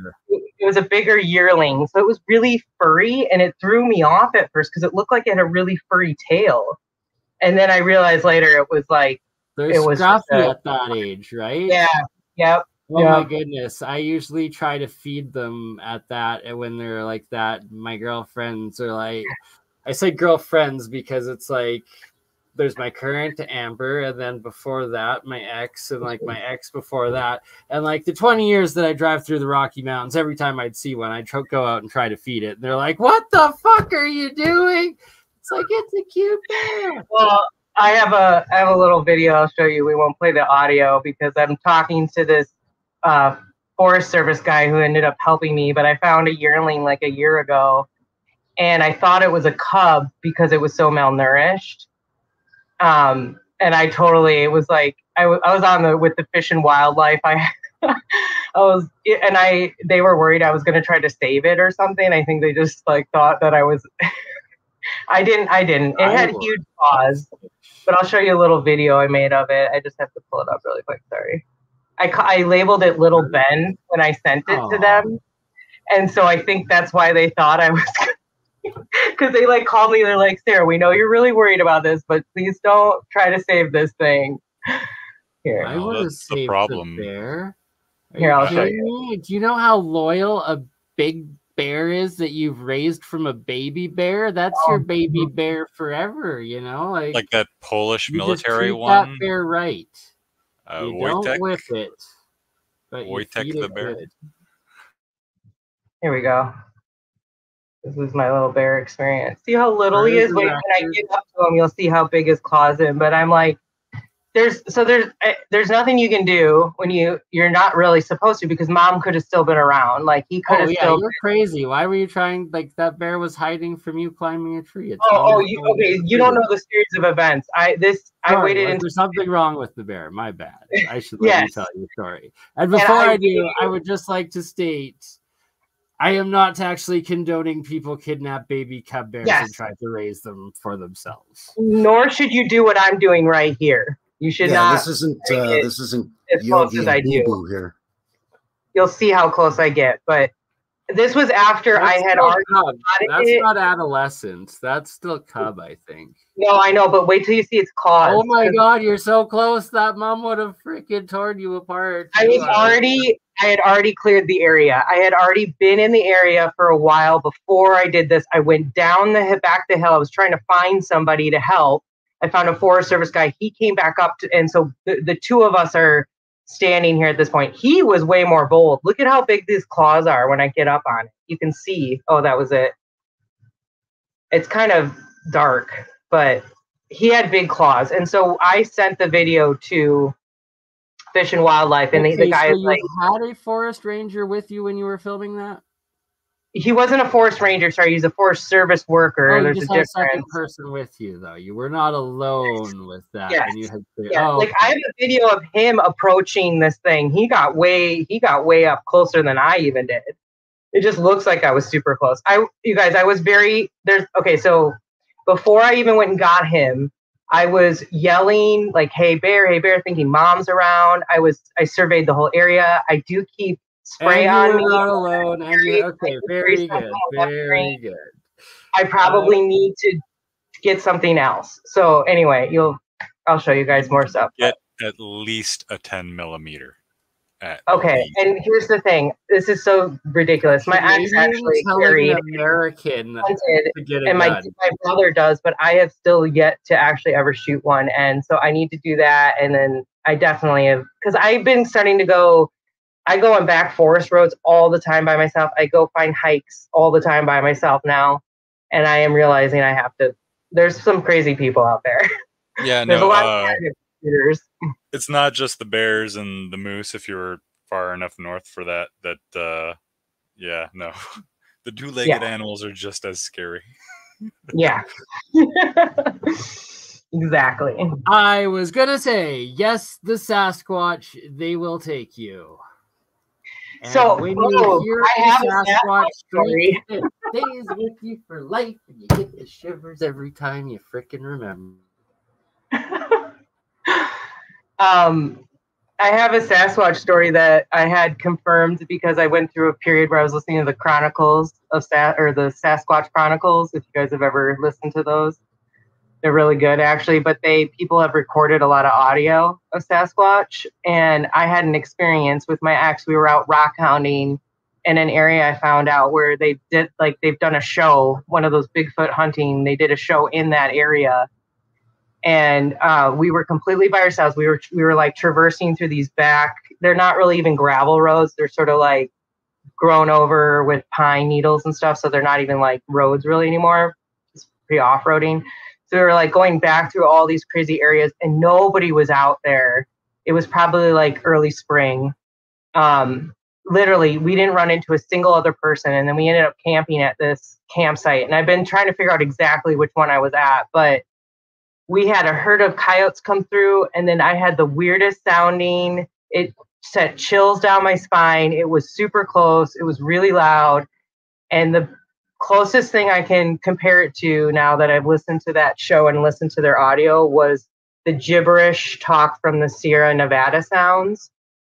It sounded like some large crazy beast type creature talking in gibberish. I know i probably sound crazy right now and the funniest thing is there's a lot of wild horses around there. There's not actually there's not really supposed to be any wild burros as far as I know. But after this thing made all these really weird sounds, really loud, louder than I would ever think a wild horse could, and I went back and listened to wild horse noises because I was really curious. Anyway, it made a donkey hee haw. It was like talking in this like that, and then it was like hee haw.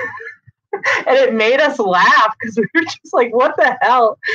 But the craziest thing was this like herd of coyotes that came through right in connection with this. And it was like we could hear them. It was it was insane. It was like it had to at least be 20 to 30. And then um and I guess this all connects. So that's my Oregon Sasquatch story for you guys. the coyotes fleeing could have been a sign that uh, you know the Sasquatch was in the immediate vicinity, and the uh, coyotes, as you know, get spooked really easily, even if they are in larger groups. Yeah, they'll just take off, right? So maybe that's why they were yipping and scattering all over the place, and probably scatting yeah. too, literally shitting that themselves. You say it imitated like a donkey afterwards, though, and I do believe they probably would have this like higher pitched different, like you're saying, gibberish, but to them, probably fully functional language. Well, and that was what was so weird. It was so different that with the gibberish talk was actually really low. It was very guttural, and it was almost like there was little uh, roars and little like. The low, okay, that low travels like miles or kilometers through yeah the base and ground, just like elephants. Uh, they found communicate yeah. in yeah. herds through that low trees communicate through the ground. that way you know like for miles they found out so yeah. Well and the other thing is oregon much like alberta is a horse ranch country.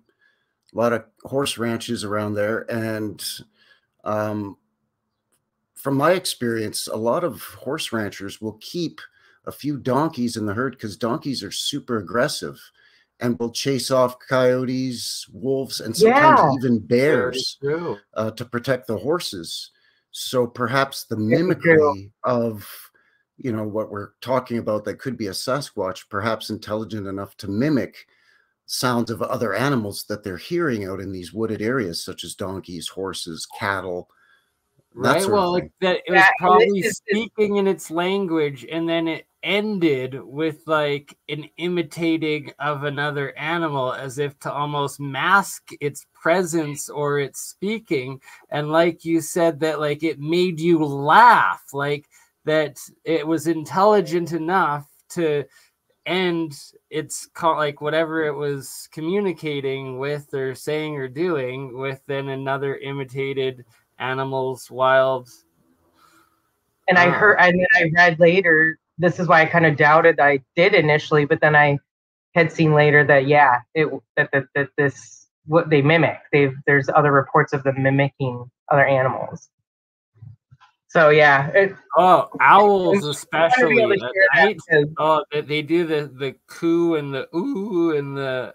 Oh, yeah. and have you heard? Have you heard the cougars. That cougars actually have multiple different sounds to mimic birds, and it's like you would not be able to tell unless you had known this, like a chirping type sound they make. The chirping. Now that you said that, I had never thought of that, but I experienced that chirping the one time I was almost ambushed with uh, a mother cougar teaching its adolescent cougar how to hunt at uh, the river uh, park, actually within Calgary, um, down Wow. at New Discovery. And luckily, it was myself, my ex girlfriend, and my two past uh, pit bull slash English Mastiff cross dogs, so that there was four of us, and that um, at the end of the pathway was the adolescent cougar, and it looked like an oversized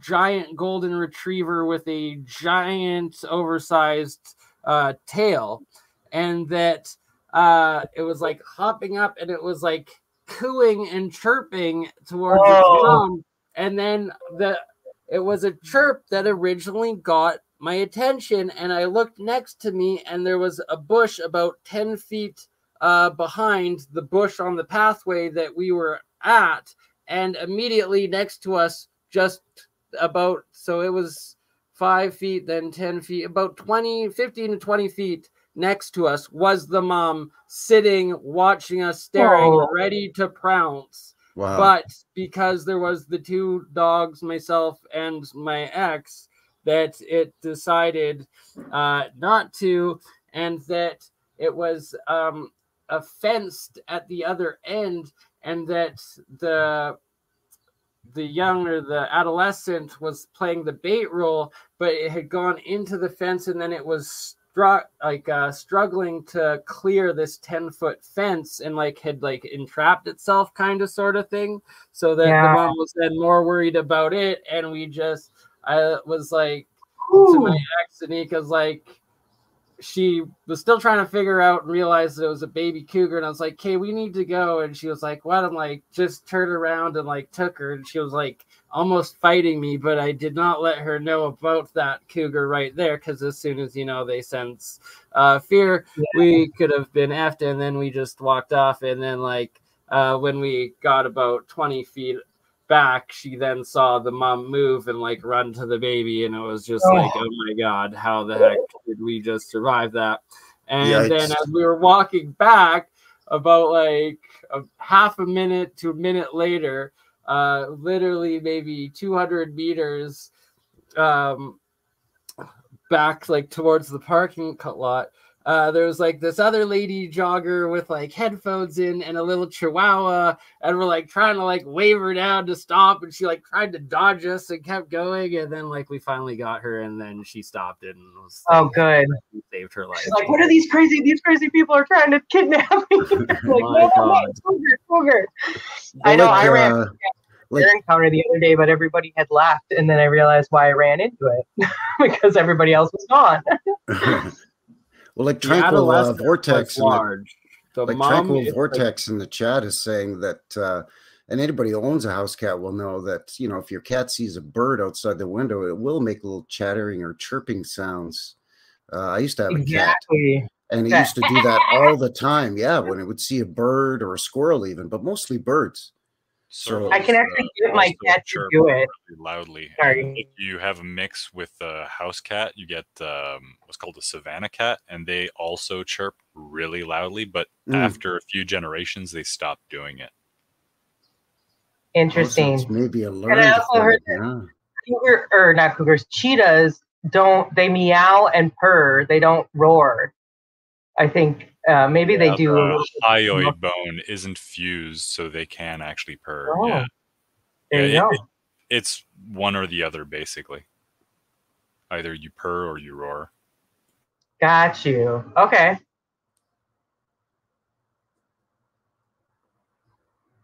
But yeah, cougars, um, they can make really loud shrieks that sound like a woman being murdered.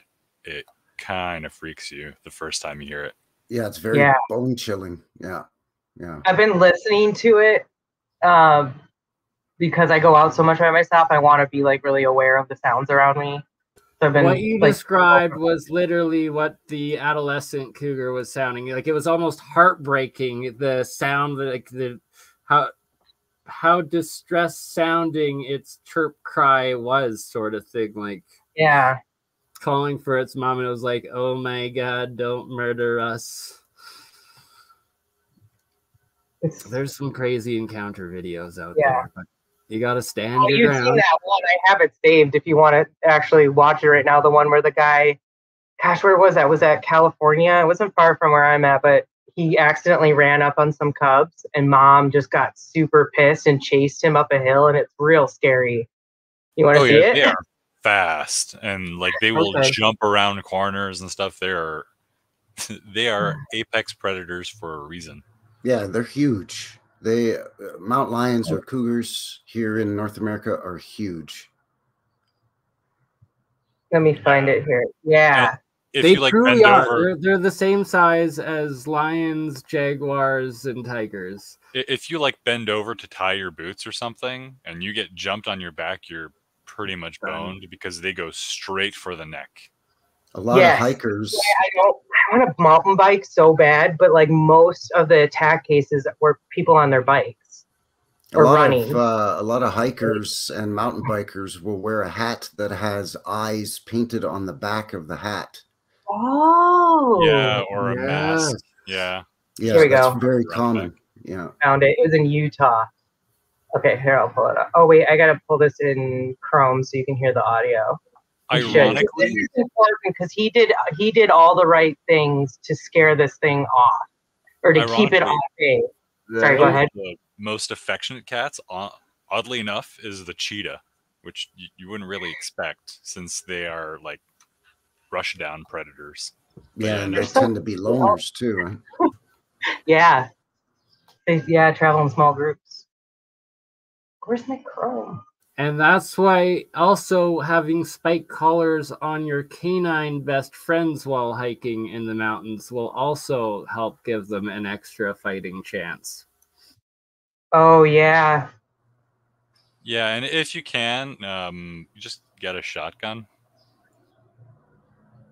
I, they're not expensive. Th- It's worth You don't have to $100. shoot the animal itself, you shoot in front of it so that it decides not to continue to attack. Well, they make and will bear usually run bangers. off. Like it, it's basically a blank, as and well. you shoot it in front of you, and scares the bear off or whatever the animal is. Which And is- if not, yeah. you have buckshot or slugs right after that you can use to. you can, you can use Defend bear spray. Specifically, it's that thicker foam versus just the light, you know, mist. Okay, why can't I find my Chrome in all of a sudden? Yeah, bear spray and pepper spray can be dodgy, right? Uh, if the wind is coming at you and you spray that stuff, you're going to get more of it than whatever's trying to chase you down. That's why I think an that joke um, that you know you can tell a black bear's poop and a grizzly bear's poop apart because one has uh, undigested leaves in it, and the other one smells of pepper spray and has dog collars in it. that's funny. Yeah, some of those big grizzlies up here in Alberta in the Rocky Mountains, uh, you know, pepper spray or whatever, that's just a added spice. You know, it's just to flavor up whatever they're about to eat. Put a little cayenne pepper on this human. Delicious. Actually, cayenne pepper is a decent repellent. Oh yeah, You yeah, yeah, for sure. Right? I'm They don't like you spicy. They want you plain and bland or with cheese and bacon. Not Black people don't to carry season their humans. Watch, see, watch, bam, mom. Oh, this is wait. It'll it'll show it better. He just saw the cub, and now mom is running at him. Oh wait, maybe that was a different cub starting to run at him, and now mom's gonna chase him here in a second. He, it's gonna show her in a second. This is one of the craziest videos I've ever seen. and where is this? It didn't sound like this is Utah. It doesn't. I didn't get the Oh. audio to. But he's really. He just is like, hey, hey, when every oh, time. Oh it, yes, yes, I know. Oh yeah, it like for like a couple minutes keeps it like Yeah, he goes, Yeah. wait, see how it's Oh. charging at him, and he's got to keep challenging it back to yeah, keep pawing it. at the Yeah, pawing at the yeah, ground and everything. Yeah. Yeah, and you Yeah. don't want to get This guy literally played it no. the only way you could play it, fighting for his life with his wits and not backing down while backing up the entire time. Yeah, you have Yep. to maintain head on. Like you have to stare at it the whole time. This is Oh, why exactly. you make eye contact with all animals and that you can establish mutual respect of that like i'm not going to kill you while you're not going to kill me. And eventually especially if they're not defending their young uh, a lot of time they will reach an understanding and respect and go their own ways. The other thing I've been learning because even with lions, like it's kind of a joke, but they say like carry a stick because you can keep a lot of animals at bay with like a long stick. So get used to hiking Yeah. with a walking stick, which is what That- I, I'm starting to do too. On top That of used it. to be a rite of passage, apparently, for Maasai boys uh, as part of their tribal rituals uh, into manhood, was Oh. to run up and and slap a lion with a stick. Apparently, oh, Mhm. Yeah, every time I hiked in the mountains in California, I always took a walking stick with me, and I've Mhm. chased off a few different bears um, and a mountain lion by just by tapping on this, you know, hitting the tree, hitting a rock, making loud noise. Um, and like Yeah. Bernie what you were saying earlier with the shotgun, if that guy had a shotgun right now and shot a couple of rounds in front of that cat, it would be gone in a second. Yeah, yeah, You don't have to shoot the cat; you just got to shoot in front of it so it sees what's coming. Yeah. Yeah. And the loud noise scares them off most of the time anyway. And yeah. as a reminder, these cats weigh between 100 and 150 pounds. right there Yeah, like look huge. at that like Look oh my god Right. And oh. this is ah. and Yeah, this is more terrifying than a wolf by far. Oh, yeah, I you know agree. I have more fear. Now, This, this is my biggest. Imagine a fear that I saber-toothed tiger that was 10 to 20 times the size of that and had two giant machetes as teeth. Whew. Yeah, exactly. I mean, uh, a regular Bengal tiger is five times the size of this, and then five times again the size for a saber tooth. Well, uh, Chris Oh, CC yeah. Water 99, uh, crapping your pants would probably make you uh, less attractive a meal. So um, I guess. Yeah. Yeah, I've that's why also- coyotes shit themselves when a They're like, the chasing meat them has turned sour. I don't want your human GMO butt anymore. I much prefer pepper spray. Uh, This is I very know. scary video. Man, Right? man. Like, oh, I know. I know. It It's, just it's six going. minutes long. Can you imagine? Like, because you'd probably like- just be thinking you're gonna die any minute. Oh, No, if no, you no. You can't think you're gonna die because the No, I moment you agree. do, You you gotta surrender to it and it's Yeah. gonna attack you. You'd be If shaking was- for hours after. Yeah, Yeah. oh yeah. Oh, Yeah. You wouldn't yeah, you wouldn't would. sleep That's for really days. what I mean. Like, once you once the adrenaline wore off, you would definitely be in a But little. that entire time, you're so pumped with adrenaline because you're ready to attack it as it attacks you, and you defend yourself. Like, Yeah, yeah. Except you don't have Exactly. claws, so have fun with that. well, yeah, definitely, you'd want to have a couple boulders in your your hand at that point to at least try to blunten it and block. the Yeah, claws hit it in the head. Hit it the eyes. It's just like, yeah. If this A was rock- me filming this, the audio stick, like you know, like something to jab and to bash would be your best bet.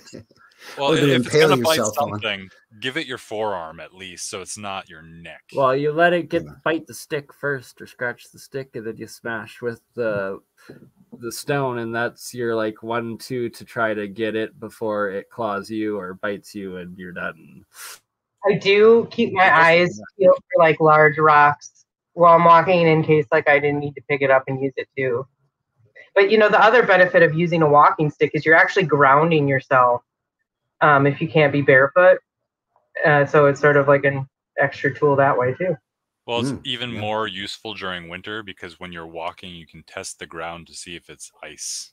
And then it just runs fall- off like that, and it's like, okay, time to go back to my cubs. You're out of my territory. Yeah, that that's basically what it is. You're, you're in the It's bear's far territory now. enough away. I'm gone. got far enough away from Cubs that it uh, that's incredible. That's an amazing video. Yeah, I'd be. Oh yeah, look at his shaking hands. Yeah. He's like, This holy guy. fuck, I'm Oh, alive and he it's was over. really, he- if you hear the audio, he was pretty. He, he was shaky, but he Oh, was yeah. calm. He was, did the great job with that. So anyway, I thought you guys Great. would enjoy that. Absolutely. Jeez, bless that guy. That's amazing. That's amazing. If that was me and I was filming Yeah. that, the whole audio would just be me crying the whole time. I Oh would just no, be no. crying he's like, like, a child. fuck you, get out of here. He's like, I Lots don't. of swear like, words. You're Yeah, I'd be yelling a lot. Yeah, that's Yeah, I like when I saw the bear, you just like instincts do kick in. And so both times I just immediately I was a little shaky, but I just immediately go, Hey bear, hey bear. I start putting my hands up real big and I start slowly backing away with my face towards it because I Mhm. didn't know where mom was. You know, mom was somewhere near there, I think. But and you just make yourself clear. And then as soon as I got space and I didn't see anything, I ran a little bit to give myself a little extra space, and then I continued to walk backward. And then you you you you end up working your different muscles as you do that. So you know it's a it's a win-win, guys. The thing about bears, uh, a little safer in the sense that, first of all, they're bigger, so they're easier to spot. And they, they actually have crappy vision, especially compared to cougars and wolves. Oh, So but they can smell you easy- from far Well, away. Yeah, their Yeah. sense of smell is just as good, but their vision isn't all that great. So they're slightly easier to evade and confuse if you have experience with a bear. But I That's- mean, either way, bears, wolves, I was cougars. making a lot of noise. So yeah, what you're saying makes sense. I was actually confused. I ran into it because I constantly, when I know I'm by myself, and I'll have like a thing that I can with my water bottle. I have like a hydro flask, you know, so it makes that ting noise that, and I'll make Yeah. it go ping, ping as I'm walking. And a lot of times I just go, I'll talk to my dog really loudly, like, "How you doing?" You know, like I'm obnoxious. Anyway, so when I saw it, I was kind of confused. I the only thing I could think of was that all the noise I was making actually stirred it out from where it was, thinking it could hear me coming and thinking it needed to move or smell me coming, and then and that's how I ended up because it was like a hundred yards away. It wasn't like super far away. Well, that's the But- thing. It doesn't really matter because it can smell you coming further than you can see it coming, most likely, if you're in a forest or something. And Yeah. they run faster than Usain Bolt. So, Yeah, yeah. Yeah, most bears around what 40 mile per hour on a flat, you know, straight straightaway in terms of sprinting. So even if you say, okay, you know, 30 mile per hour in a wooded area, I mean, you're you're toast. Yeah, but you got to run downhill. they can't run as fast downhill, and they'll actually stumble. You Yeah. know, they got all the power going uphill, but um, they they get pretty klutzy and clumsy when they're trying to run downhill. oh yeah, don't think you can climb a tree to get away from a bear either. No, That will no. not work. No, because black bears can climb as good as monkeys, and Yeah. uh, a grizzly bear might even just push your tree over. So either way, you're Mhm. kind of screwed. Yes, Jelly and Rachel, uh, bears are really, really fast.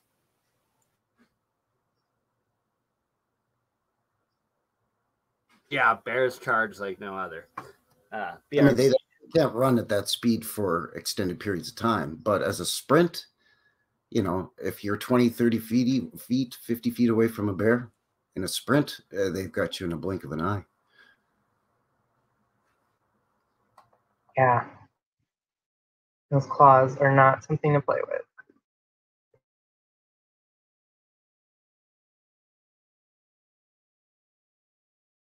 So uh, that's why I strongly recommend getting at least a 10 millimeter. Because Okay. if you get attacked, you want to be able to, you know, I hit think it the fact that before I it gets to you. Yeah, yeah. Uh, I apologize. I'm interrupting a lot. I was just going to say that I think that this uh, this encounter, because I've actually had, I've had a lot of animal encounters in my life, and so I feel like this is a sign I need to, I need to be prepared. Yeah, aim for the throat. it's the it's the uh, most vulnerable spot on a bear. If you if you're in that life or death crisis, you know um, that's where you got to aim for is right for the throat because anything else is just going to make them mad. Oh yeah, the skull at some spots is what, like two inches thick or something insane like that. I've seen Yeah.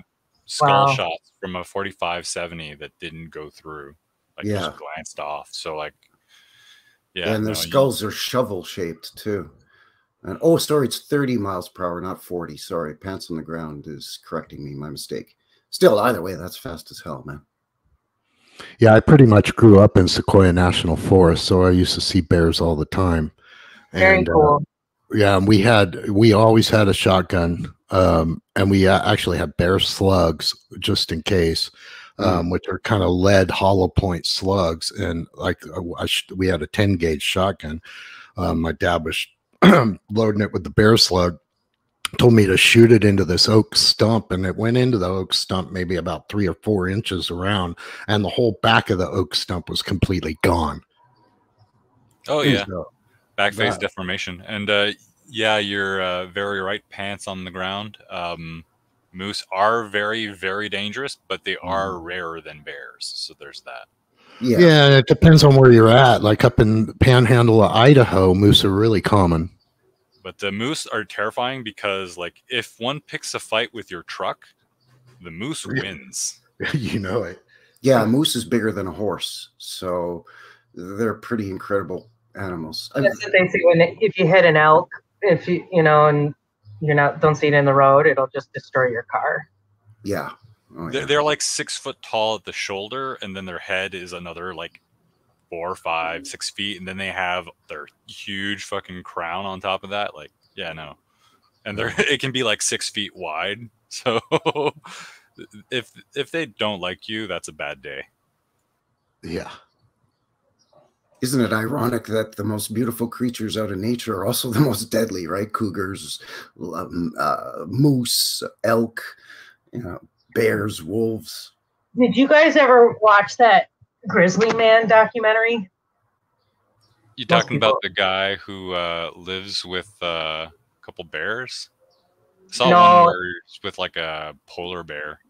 Uh, apparently, Oh. his wife What? is not very liked by it.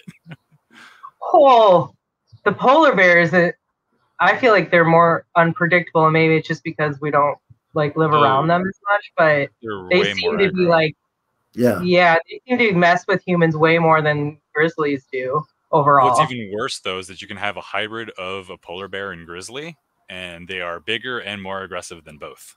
oh, I didn't know they were bigger. Oh, Are you talking about the uh, one where the guy's up in Alaska and thinks that he's part of the family of grizzly bears and then gets Yeah. eaten?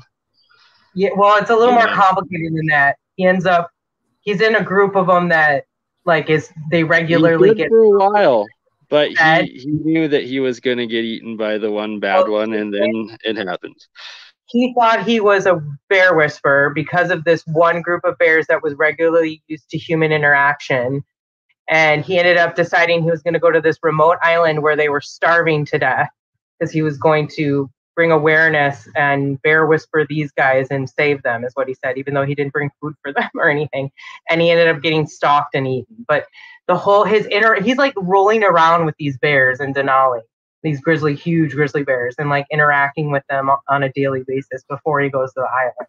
It's just kind of an interesting story, regardless of his stupidity in it. It because he had no, he had absolutely zero training.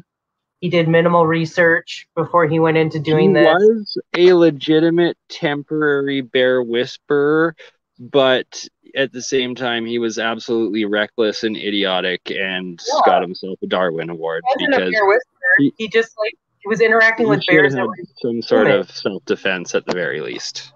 the, the bears were getting fed by the rangers out there, so they were used to being well supplied. They weren't starving, like all Yeah, those there's things. a big difference. Yeah, they probably there's a grew up with difference. people around them. Yeah.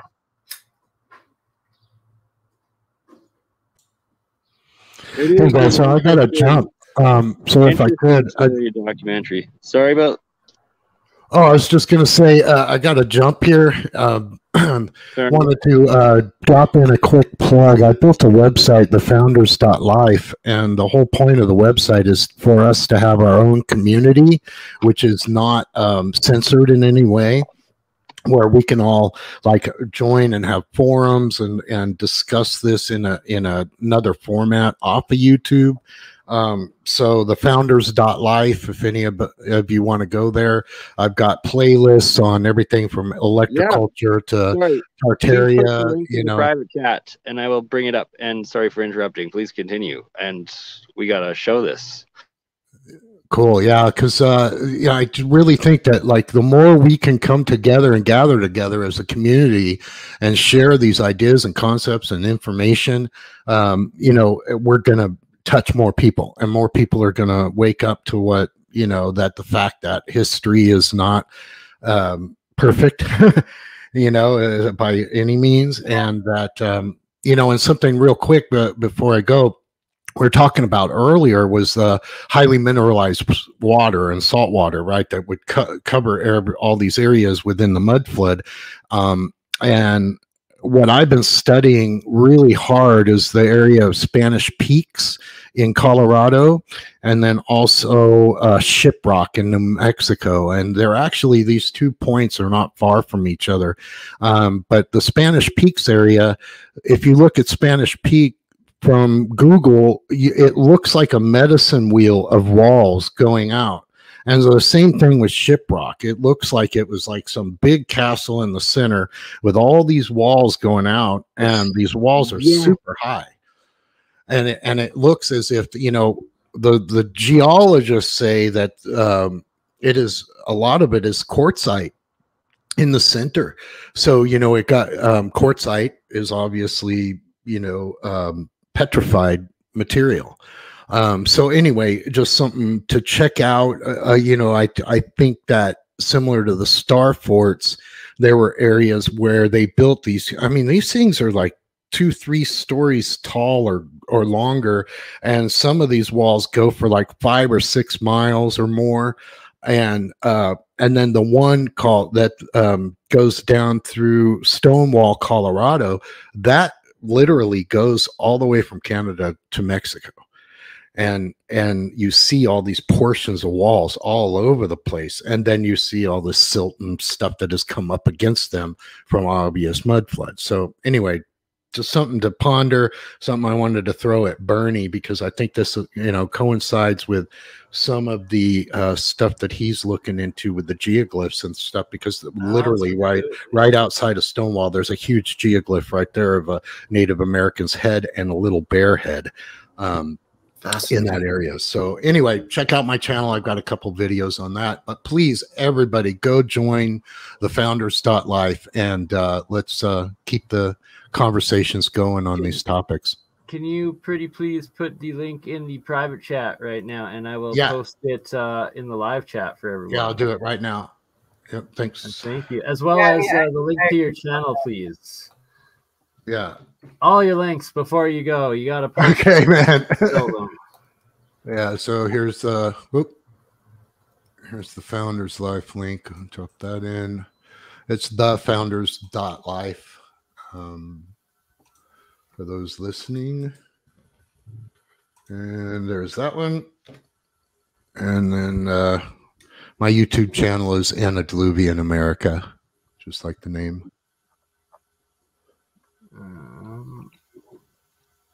Why can I not find? Oh, there we go. There we go. My computer's just slow. And uh, boom. There we go. Oh my god. What? Stupid. Stupid twitchiness of my fingers. Did I? Hey, I did get it right. Okay. Here we go. And awesome. On the Facebooks, on the Twitch, on the Twitter, on the YouTubes. It's posted everywhere now, as well of as course. Make sure you go subscribe to William at Antediluvian American on YouTube as well. America. America. Sorry. Here we go. There it is. Kaboom. I spelled it right. That's right. Yeah, right on. All right, All right guys. Peace out. Uh, look forward to talking to you all again soon. For Great sure. Much you, love. Nice to meet you. Thank Take you. Care. All right. Peace. Thanks a lot. Have a blessed rest of your weekend. And I will make sure myself uh, to click on that link on the founders.life and we'll create an you account. Have, uh, Penny, you post his uh, YouTube channel too? Or somebody could do that? Oh, you did. Uh, Thank you. Yes, you I definitely you did. did. You gotta go subscribe. And I already um, subscribed to Founders, so get your butts over there. I really, the, I'm big on the community discussion too. I've talked about the idea of a PMI or PMA a lot, and that you know, I, I my big thing is it takes a village. I feel like in some format, even if we end up smalling like or forming smaller communities, this is something that we should be trying to do. I mean, if we could, what if we could all have a research facility that we could all come and spend time at that you could put in a little bit of money and ahead of time in, in the while we're building or for part of the build, but then that money isn't something you have to pay to come back in to use our facilities, you know, and that's something on top of the research facility I've because I want to do research with healing methods, but to have an actual healing and wellness center where there are people who are um, been doing these practices for a long time that can teach you how to do it yourself so that you can be independent and this isn't about you know trying to make money anyway i think we should be having this discussion more. Right, more collectives, a hundred percent. And health and wellness center is a great uh, place and way and topic to so- start. I Here think we we're going got- one in Oregon so we can do psilocybin because it's legal here. So, and I'm actually going to start the process and do my application, become a facilitator. So come on down and I'll mm, take you for a ride. Heck yeah, sister. I like it. And well, there's gonna be the weekend at BurnEye's Getaway uh, Music Festival eventually, and oh, well, yeah. that, that'll be another psilocybin psychedelic adventure. I of got the speakers for that. They're four by four, and they have uh, lighted platforms on top, so you can dance on them. And they're about 250 watts. They're made for concerts, so nice and loud. Beautiful. I think Yeah. you might be able to find somebody who knows a thing or two about lasers also. Maybe right. Oh yeah, I, I don't know. That might be kind of hard. Like, look at all of these mountain-topped, terraformed terrace, like cities throughout South America and the Andes, and then that there's also this throughout South Africa, like Michael Tellinger has documented and shown, and then of course all throughout uh, Asia, uh, Southeast Asia, China, everywhere. The terraced mountain agriculture, and Yeah, the, half the of it's abandoned. the turrets are built on contoured in order to collect water from rainfall. That's why it's designed in that fashion. I've studied that completely. It seems a lot of uh, old world walled cities were terraced like that. Even Quebec City is not only a walled city, but it's got terraces as well. I believe there's five that you can see, but there's probably there's probably more that have been developed on top of and so on that are kind of hidden now. You had to be able to defend the food, right? Very true. Wow, and it was structured water, electroculture on top of it. It's all designed into one. That last kinda- one looked like a bus stop. Look at that. That right there. Like see, I kind of wonder if it's primary water.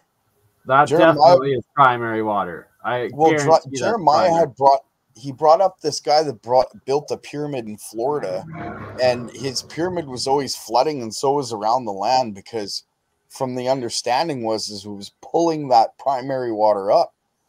So I wonder if pyramids are kind of built that way. Maybe the River Nile was supplied by the pyramid itself when it was in operation, rather than it being in front of the pyramid. I don't know. It's just a You Just a could be right. Like, and how is that not like look at all the black charring, scarring, like that was an apartment complex. I bet you that was gorgeous in its time. like Oh yeah, with plants and stuff probably everywhere. Oh yeah.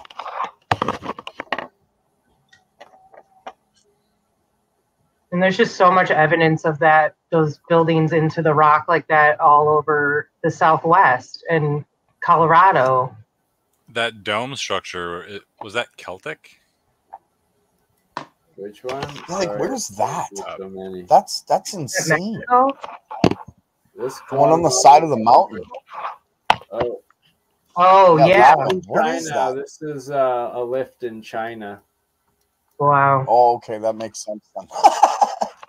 But look, it's the same red sandstone, and this is the one that has like the crazy like uh, carvings in these giant pillar things. Uh, I got to get a better picture of it. So,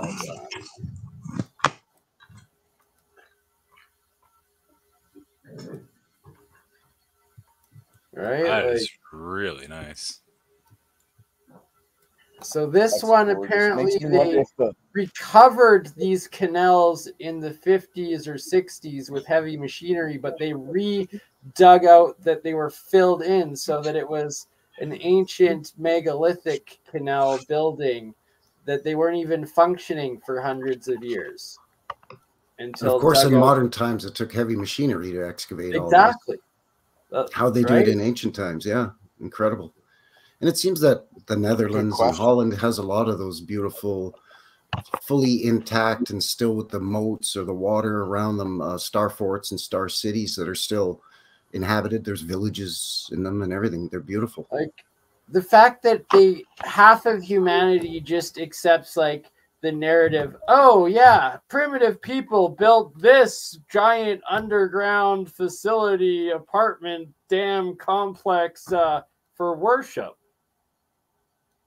it, like what no like that yeah. like that looks like the remains That'd be impossible. functioning dam power plant something From my understanding, worship came in in the 1600s. Before that, it was workship, wasn't it? workship ex- right the workship at the workshops It would be where to live instead of where to, or where to be instead of where to. Yeah, it's where you got fed, you got your education, so that you had your craft sort of thing.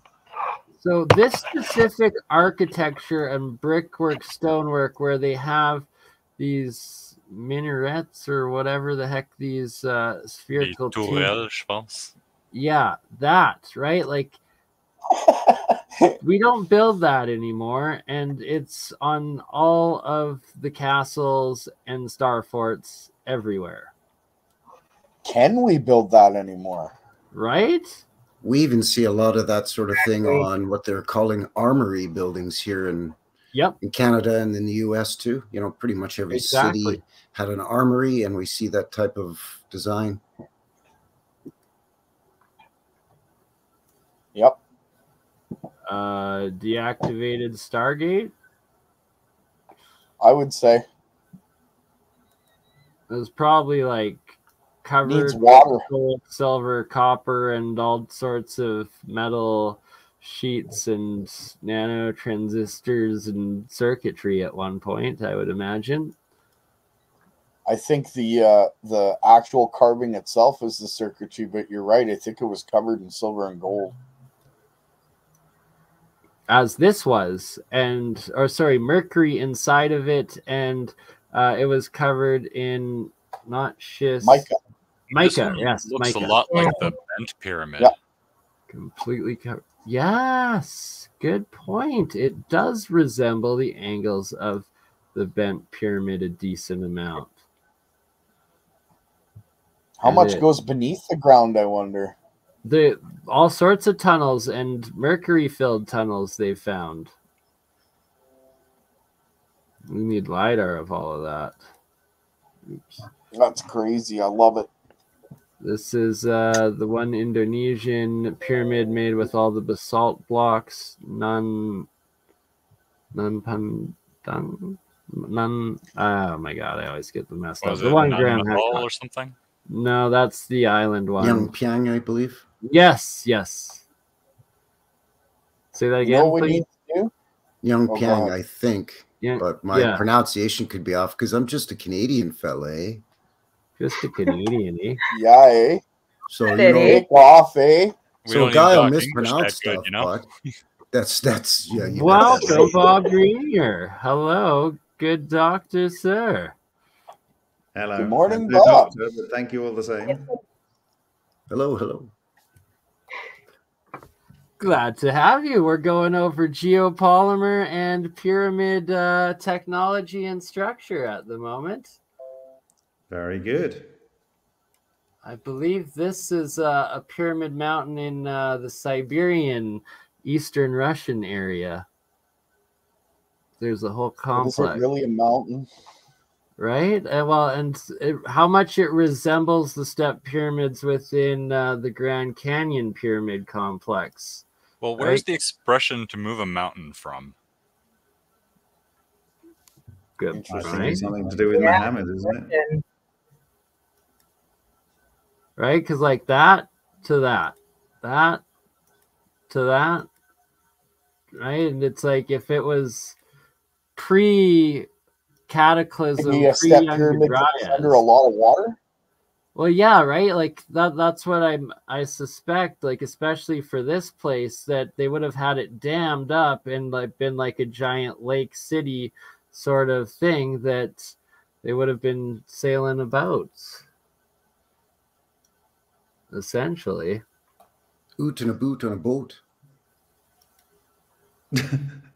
Uh, Bob, now that we have you though with the geopolymer, um, have you seen the channel of Paul Cook's work where he's a fellow United Kingdom uh, citizen as yourself, but he's found that there's this red lime or red sandstone they call it, and then this white and red limestone layers they call that he has found, especially throughout the UK, but uh, that they're also in Malta, they're also like in Jordan, uh, where throughout Petra and stuff, and then I suspect it's the exact same stuff as this entire macro structure of the Grand Canyon, but that uh, he claims and is finding evidence that it is all one giant geopolymer layer, and um, the evidence especially in the UK and the UK cave systems, that it seemed like they're built leftover um, complexes and a layer from a past civilization. I confess I haven't. Um, I can understand how silicon dioxide in the form of sand and calcium carbonate uh, could form an aggregate and um binder mix, whether that's natural dissolved from water movement through sand grains carrying calcium carbonate, making calcite, or whether it's a, a deliberate act. I don't know. I, I think both could occur.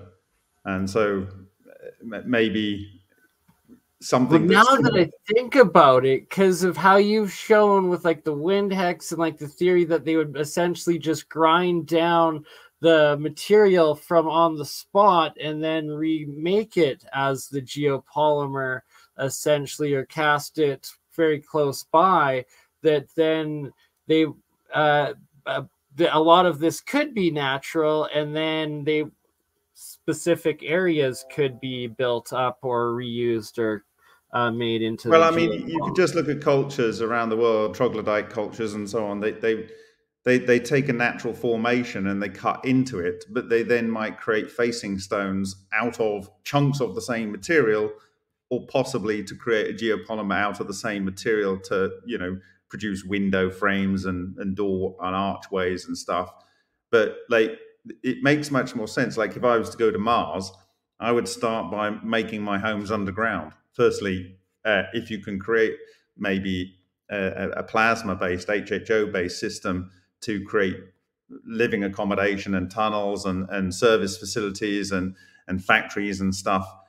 If you could use the system that would vitrify the walls and seal them and they're underground you're then able to pressurize those with atmospheric pressure uh, to live. So you know a lot less dangerous than exposed bubbles or domes outside and then fully Well, I mean, they're not having to create the building material. it's it's subtractive manufacturing, isn't it, as it were? And if you can use a technology that might make the material disappear, you don't even have to deal with the waste. So, um, you, you know, the, there's a, there's a lot of reasons why you would use that kind of technology. So, um, but in terms of the geopolymers, I, I had a thought recently based on a uh, recent presentation that I gave that the wind hex appears to leave, for instance, metals uh, magnetic, but it also leaves particles free flowing and spheroid.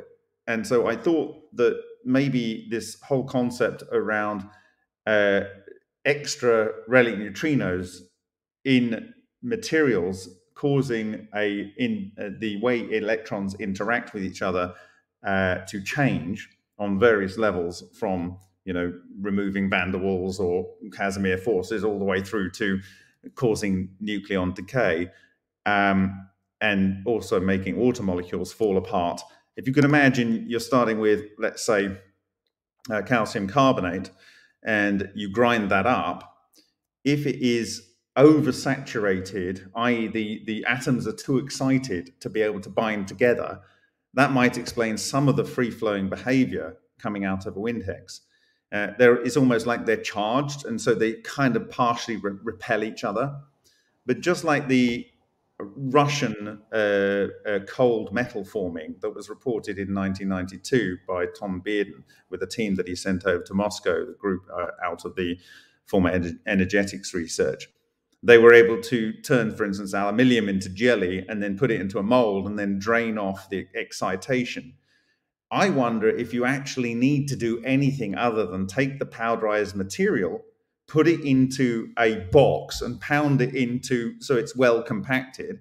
And potentially over time, these charge clusters will dissipate either through moisture, natural moisture, or air moisture, or whatever.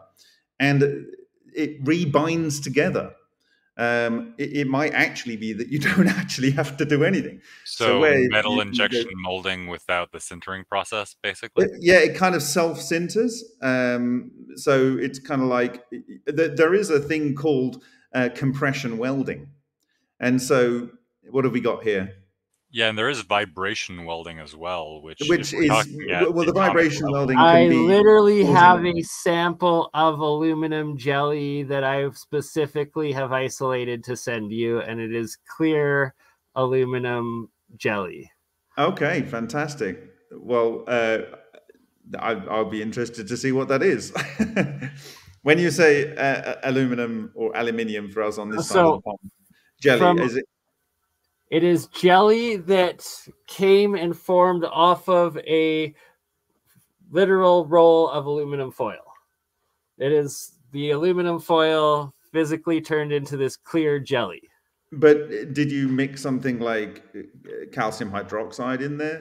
Uh, just it, normal it salt water that, that uh, was below it, and I turned it.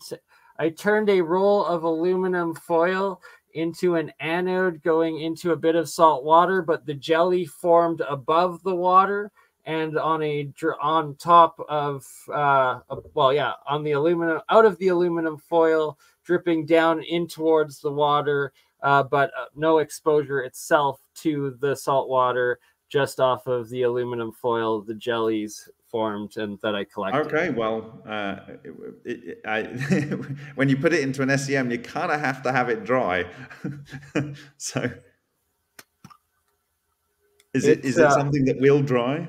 Oh yeah, uh, it should. Uh, I'll leave it out to let it. Uh, leave leave a sample so that so that it can dry. Obviously, then air's going to do something with it, but. Um, yeah, I mean, when you put it into an SEM, it puts it into a vacuum anyway, and it kind of dries it out. I'll show you uh, where it came from. Uh, just give me a second. I'll okay, hop outside okay. and. So yeah, so the, who was talking about the vibration welding? Oh, that was me. Simon. That, sorry, I don't. Who? Who? We Simon. have Simon. Uh, Hi, Simon. Gerald, uh, WPG Enlightened for Truth as well. Uh, that awesome. was on last time with us. Hey, Bob. uh, Hi, Joe. Frankie. Yeah, I'm the guy who sent you the uh, the wind hex model the other day. Oh, uh, which one? uh, the 3D printable one. Oh right, okay. The one, the one where you've now put a hole in the top, so it's starting to work. Well, uh, I still have to work on the nozzle dimensions because I want to yeah. use the uh, soliton nozzles, but we have the um, we have the equation for it but uh, I yeah. am not going to do that by hand a million times to get the dimensions right. no. So uh, until someone uh, makes a calculator so that I can just quickly punch the dimensions in, uh, yeah, it's, it's yeah. well, that might be something there. I can encourage someone in the community to do. Yeah, it's going to be based. It's really going to be based on your, well, all the parameters. Um, but it, it, individuals will have different capabilities of being able to inject a certain amount of air. Um, and that might be the key parameter for that particular individual. So uh, yeah, because you mentioned that the solitons uh, they like to like chase each other front to back, right? So I Uh, if you've got one in front, uh, it basically, if you can imagine, uh, it, it it it has this thing where it, it like an aerofoil. It's kind of like an aerofoil around all the all the way around it. So it has a low pressure on the inside, yeah. uh, slightly behind it, and then a high pressure on the outside, and that kind of pulls it through the medium, the fluid, whether that's the ether, the a gas, a plasma, or or a liquid, uh, or indeed a solid if it's a, a non-charged structure that's being able to go through a solid. Um, so it, behind it, it's got kind of like a, a, a zone where it creates a low pressure, and so the Ah, yeah. Okay, I see what you mean. Yeah, yeah, so it's kind of like it's pressure it's kind of like a well in which it falls into, and as it gets closer to it, it gets pulled in. And you, you, you, if you look at those sprites videos, you can see them coming in from the side and wrapping on and merging. You can see them coming from behind, um, and yeah, it, it, you'll be able to see uh, air solitons done by divers where the same thing occurs. Yeah, I, I was looking at a thing, uh, German um, project where it was basically a giant vortex cannon, but they filled it with uh, very fine coal dust. And so when they fired it, the coal dust would ignite and it would keep feeding the vortex and keep getting bigger and bigger and bigger. And it was for anti aircraft use. Right. Well, that's the. I mean, uh, these. If you've seen divers underwater create a, a soliton, they, they're able to knock over um, stones that have piled up underwater at quite some distance, um, and and I- so the, the structures are for a second? very stable. Sorry, what? I, I just want to interject for a question. I'm sorry. I, um, it's for Bob. It's Gerald here. Is the. Windhex is it uh, size dependent? Does it have to be to those parameters that we originally talked about, or can it be reduced in size so my degree? my view on the size is is there will be quantization and resonance involved um and so that I understand. yeah so if you look at for instance the exotic vacuum objects they're typically like 1 micron 5 micron 20 micron 100 micron or something like that right uh, Yep. because they're they're kind of fractal and if you can imagine um and so I don't know whether it's that important when you get to a very big one. It might be just very important when it's very small because you're, you're not looking for it to be too too, too perfect when it's that big because you're after a very very weak effect. You're not I'm- trying to do nucleon uh, uh, exchange or nuclear decay. You know, you're, Right. it, it's a, it's a much more subtle effect. Um, but what we're looking at uh, actually at the moment is, you know, the, the Windhex air blowers are uh, coming soon, and the other parts are coming. So I'm going to have an update probably this coming week. Um, Awesome. and So- hopefully, uh, what what, what um, Tony has done is he's configured the new design, which you're going to be able to have a look at in the next couple of days, to allow for you know, if necessary, adding heat in there and adding moisture. I don't think we're going to see really much of anything exciting until there's some means of having charged particles in there. And with the dry, cold air coming out of the um, the compressed air tanks, and only for a small amount of time, you you don't have um, the ability to build up charge and uh, charge vortices, which is necessary for creating the toroidal uh, moment. So I don't know whether Si- Simon maybe uh, I know Henk has found that you only get the air coming out the top if you inject quite a lot of air and then you reach kind some kind of in equilibrium with Well, that's why I wanted to put a Tesla valve on the top end, so that way the air can only go up and not down the chimney. And that well, way these are you're going to interesting. have the these are interesting additions. Um, but the, the, the one thing you must do when you're trying to replicate what already works is to never add your own flair. Yeah. Always assume to do exactly what the thing did that worked. So the uh, this for for the size of the wind hex, I, I'm pretty Yeah. well convinced that the entire cavity um, is it basically functions as a Helmholtz resonator. So like the entire thing is like stretching outwards and then compressing inwards at a certain rate. And that's going to be dictated by the, the internal volume, but also the size and the length of the nozzle at the bottom. So you could tune it that way, but you're going to have like a very limited range depending on it. We we've also had discussions of putting an electromagnetic coil at the top of the uh, opening of the Windhex and maybe adding some form of uh, electrostatic force to it. So, or we could throw some electret in there and have that ground up. See what that does. Or just a straight discharge. a spark gap or something. Yeah, yeah, yeah. Hold on a sec. I've got to flip my burgers. I'll be back in a minute. Otherwise, I'm going to be eating charcoal. Give me a sec. of course. That sounds delicious.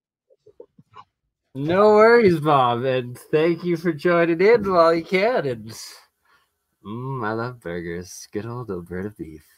Um, Miss, I hope they're cheeseburgers. I just am getting my little electrolysis uh, reactor going here uh, to demonstrate a couple things while we have the good Bob with us. Um, but I also have to step outside to go grab that aluminum jelly uh, mix.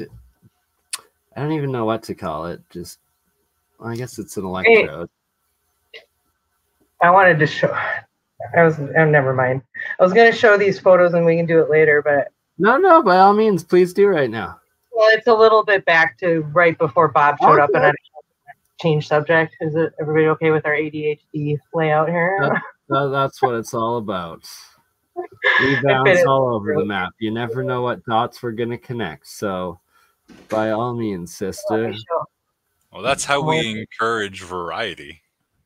Yeah, I think it's we've talked about this that it's kind of important and that to give people the perspective that even if you think like you just have the creative mindset to sort of activate that more logical mindset and challenge yourself. That's something I've done. And uh, this is that Heart Mountain area where I found those circles. And um, I was going through some of my old photos of the edges I just thought it was really interesting after you're looking at some of the pyramid stuff. I know it's not exactly in the shape, but um, there's a lot of layering and plateauing in this area. This is uh, considered part of the Modoc Plateau. And I'm very curious about that structure in that area. There's a lot of that red sand. There's a lot, you know, I'm talking about that you were showing, talking about. Anyway, Bob's back, so let's let's get back to what we were talking about. I just thought it would be a brief interlude.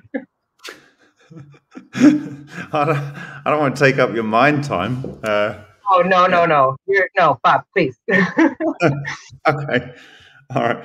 Um, yeah. So, in, in my view, we know it works. Uh, how is it working? Uh, I believe it's it, it's necessary to have the charges in there.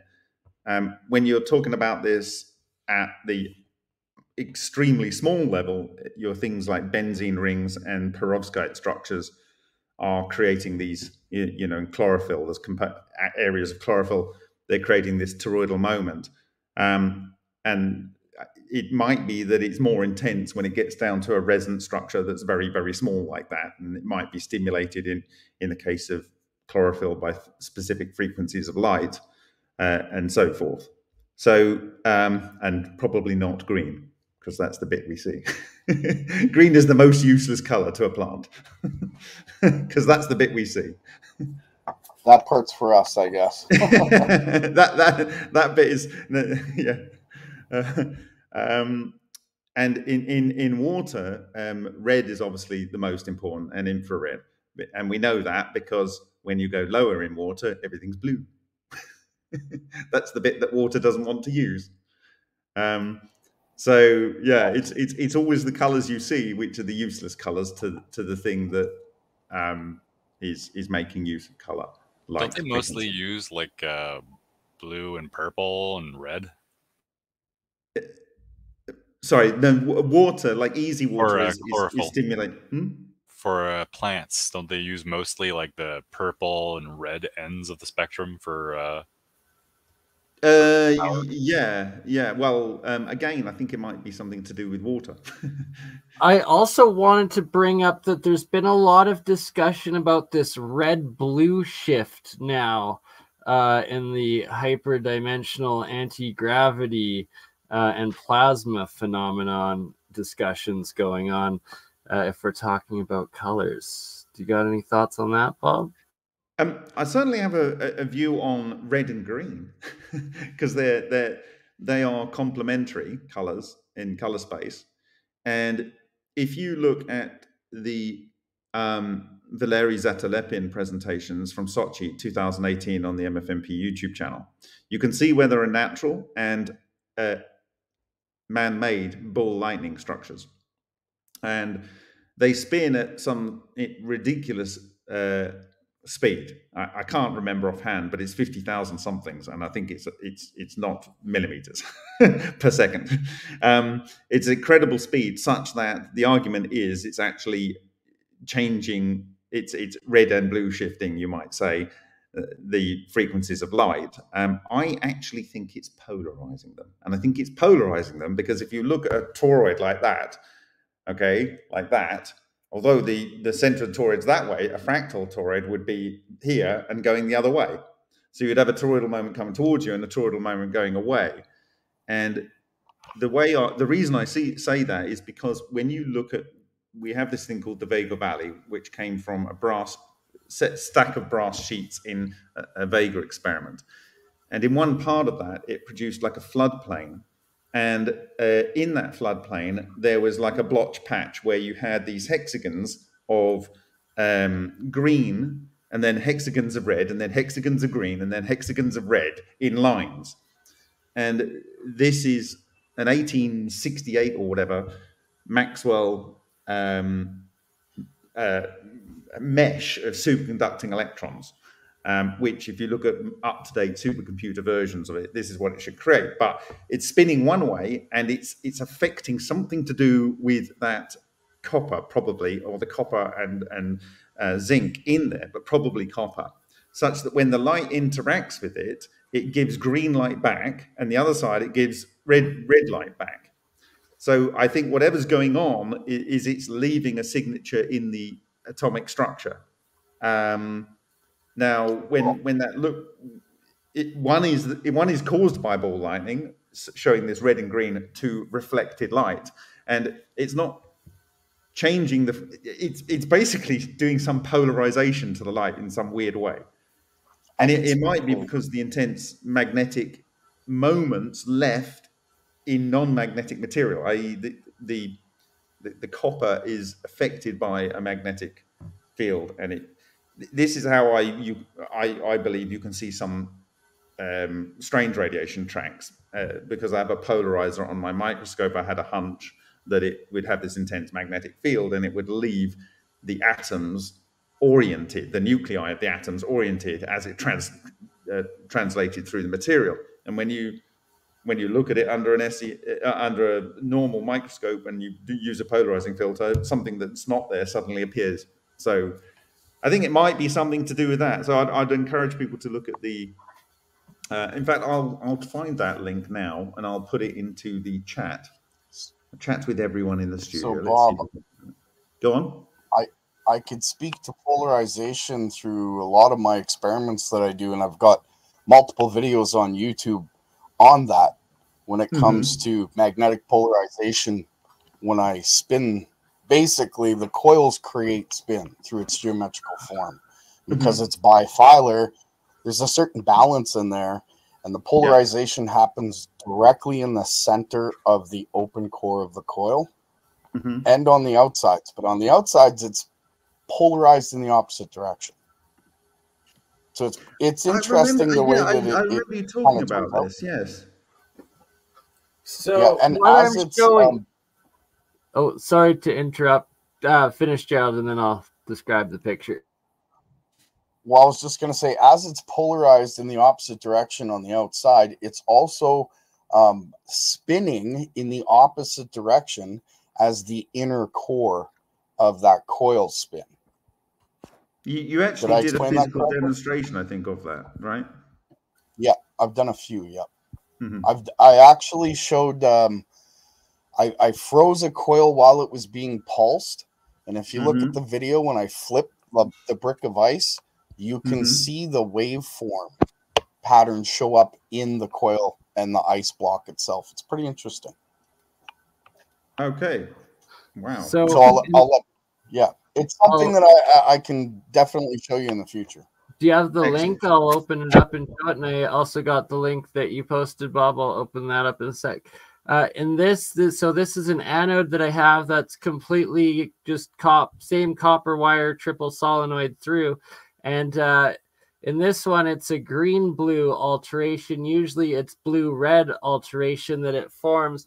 And going down below the blue, submerged into the water, you can't see it or the electrolyte salt water. Uh, it actually goes green again and alternates again, and that it does these alternating, usually red blue, red blue, but here it's green blue, green blue.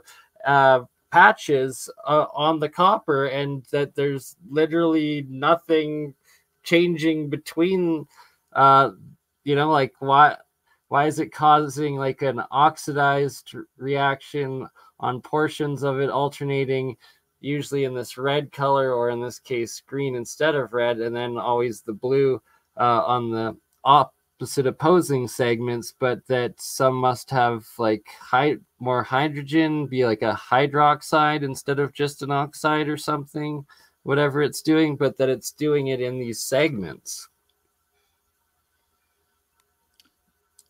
I, I, I mean, uh, without understanding particularly the chemicals you've got in there, or uh, it, I wouldn't. It, it does. It'll do it in just in pure air as well. The copper, and it's that.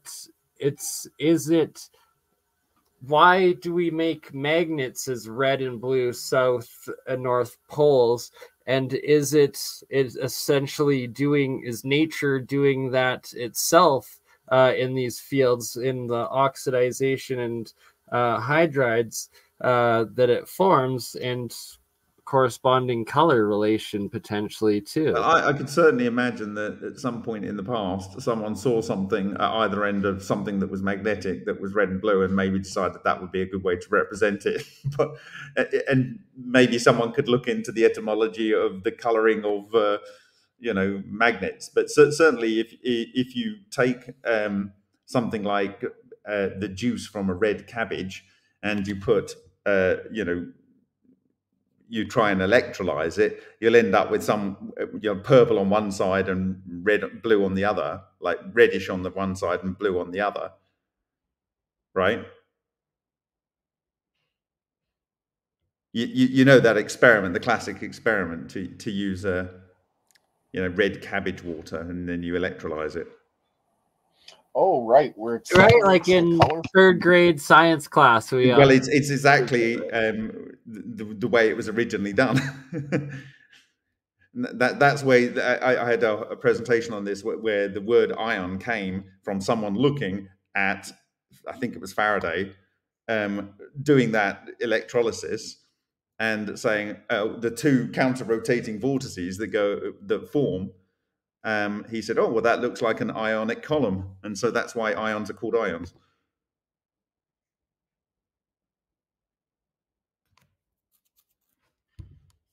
Okay, so I, I, I'm going to eat my burger now. I'm going to leave you with that link, but if you look at that link, um, you will see that um, Zatelepin talks about. oh uh, i was muted sorry uh thank you so much for joining in bob but quickly before you go uh 30 more seconds i will run out with my camera outside to show you the aluminum that uh Okay, came- before you go, you can see on the, the, the image when you look at this video that in 2009, natural ball lightning, because of the red and blue, but it looks green to me. But anyway, red and blue shift on either side of the natural ball lightning, they're estimating that the rotation speed is 100,000 kilometers per second. And in a nat, in a man-made one where they've still got red and, and green, but I, I, it looks like red and green to me, but let's say red and blue. Um, uh, it's And got a was 40,000 uh, kilometers per second. So that is, they're, they're looking at the speed of that rotation based on the, the color shift. And that's a radius of like 50 microns maximum ish. Uh, yeah, yeah, I mean, there's a lot of information in that one presentation. Okay, so uh, go, run outside because uh, yes.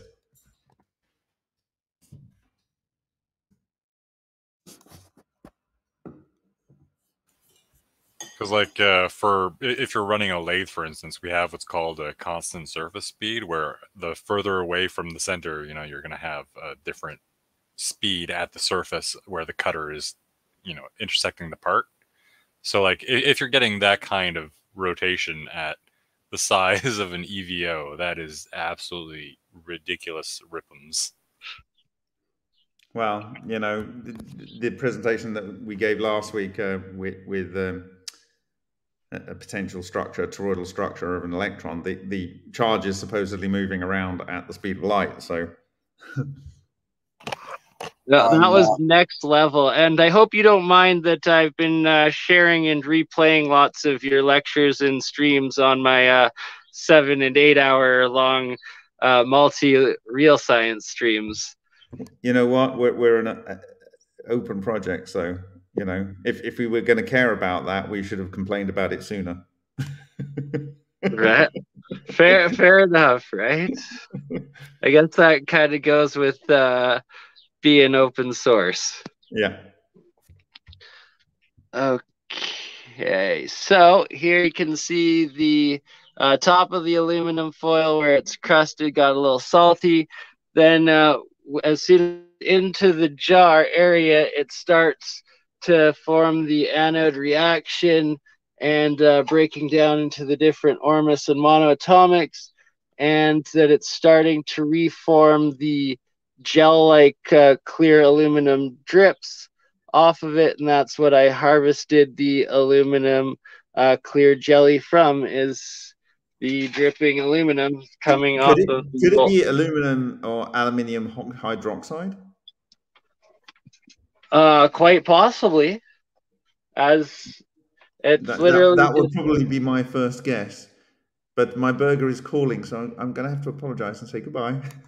Bon fair appetit. enough, good sir. Thank you very much, Bob. Thank you, Thank you love. for sharing that with me.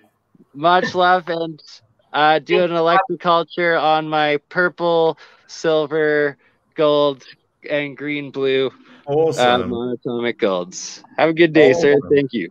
Thanks, Bob. Cheers, Bob, mate. Enjoy your burger. you go, I have that. Oh, too late. No worries. We gotta let him. Gotta let the good professor eat his meal while it is still warm. And on that note, we are three hours, still just past three hours, 33 minutes. We are three hours, 34 minutes in, and I need to get to work today and go plant all of uh, these pots with the seeds to start uh, testing these alchemy waters. Um, last uh, thoughts, everyone. Well, admittedly, everything Bob was talking about is way above a guy's pay grade, but it was fascinating, fascinating stuff. So that was really cool. That It's cool that to think about the color correlation that he was getting into and the Yeah. polarization concept. And yeah, yeah. So that was great.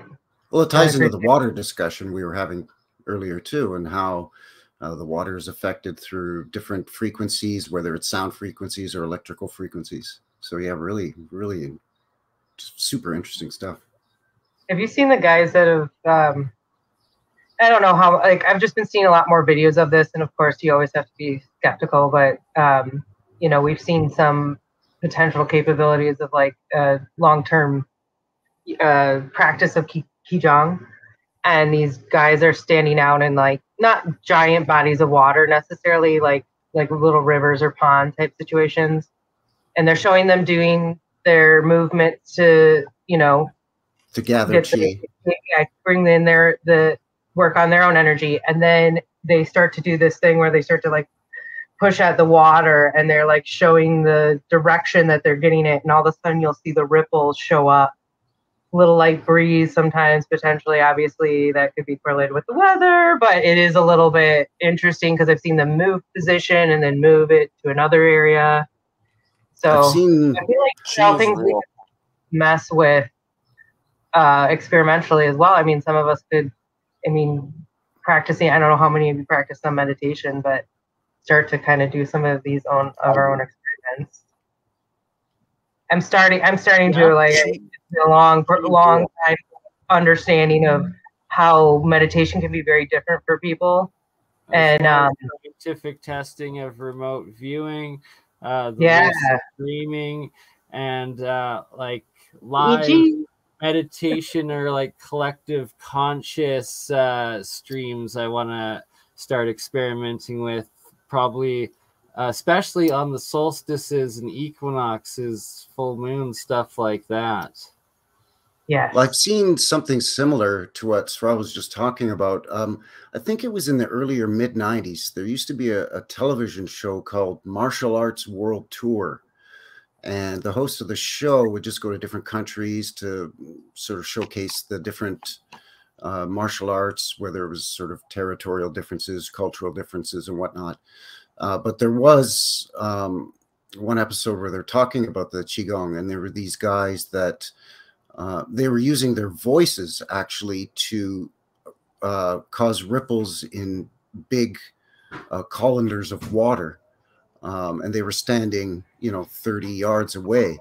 And uh, just by projecting their voice after gathering chi, they could produce ripples in water. And one guy was actually able to um, disable birds in flight, small birds in flight with his voice, not kill them, but Yeah. actually just cause them to basically crash land or have to land or or much like if you whistle at a bat you could throw it off course kind of the same idea yeah, yeah. and um, one guy was That saying he could sense kill insects like large grasshoppers and locusts just by using uh, his trained voice it was pretty Yeah. incredible stuff there i mean there's so, there's so much more new data It's like coming out with like, voice vibration and like a cat's purr and how it heals so like how humans can create their own healing with with their own mouth and throat vibration like throat singing Mhm. sorry gerald you were going to say something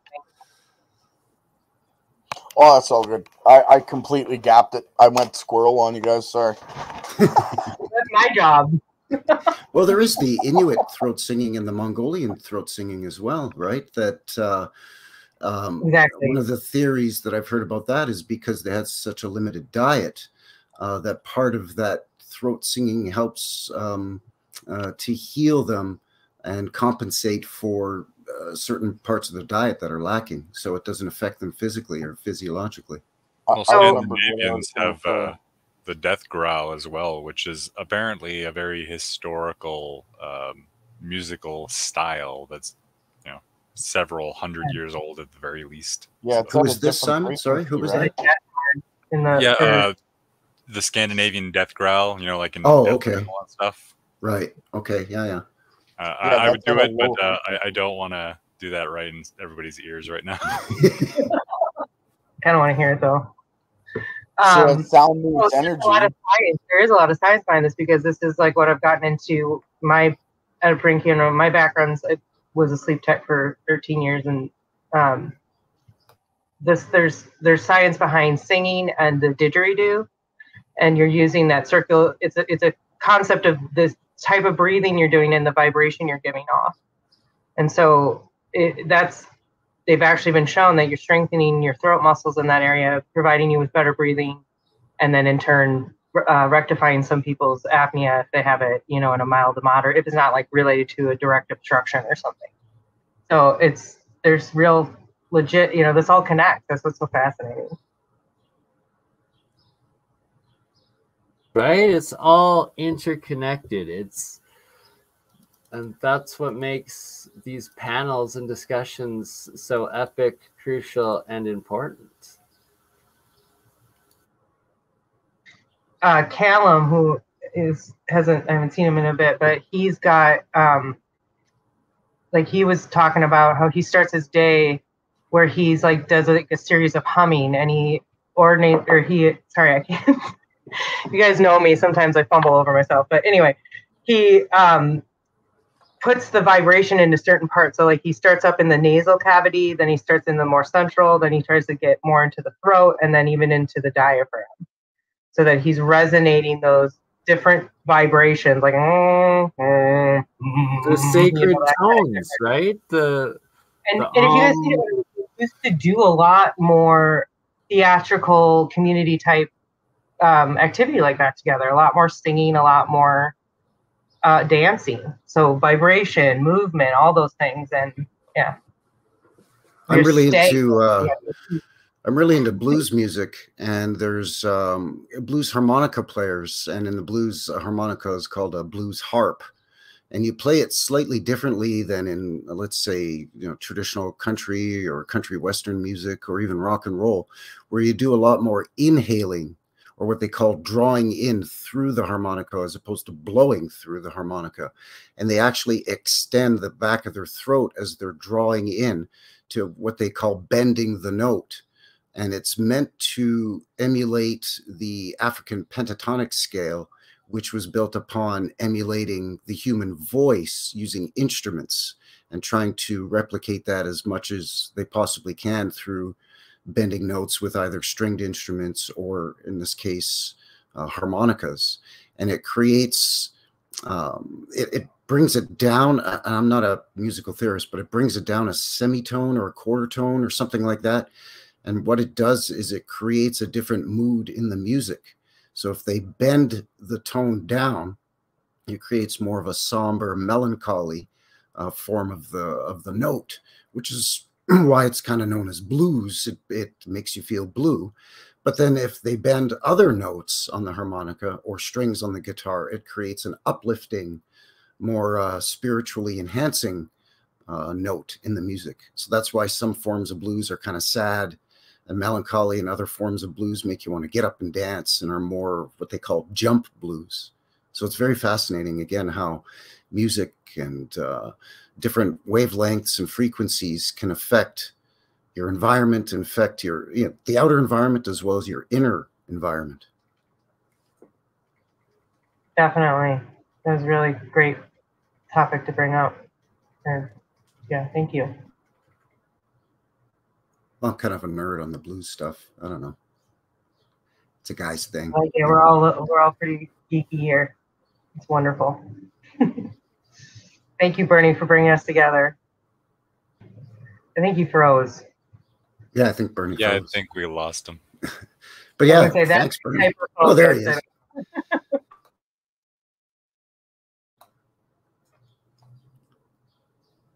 Yeah, you're back, Bernie, but you're muted.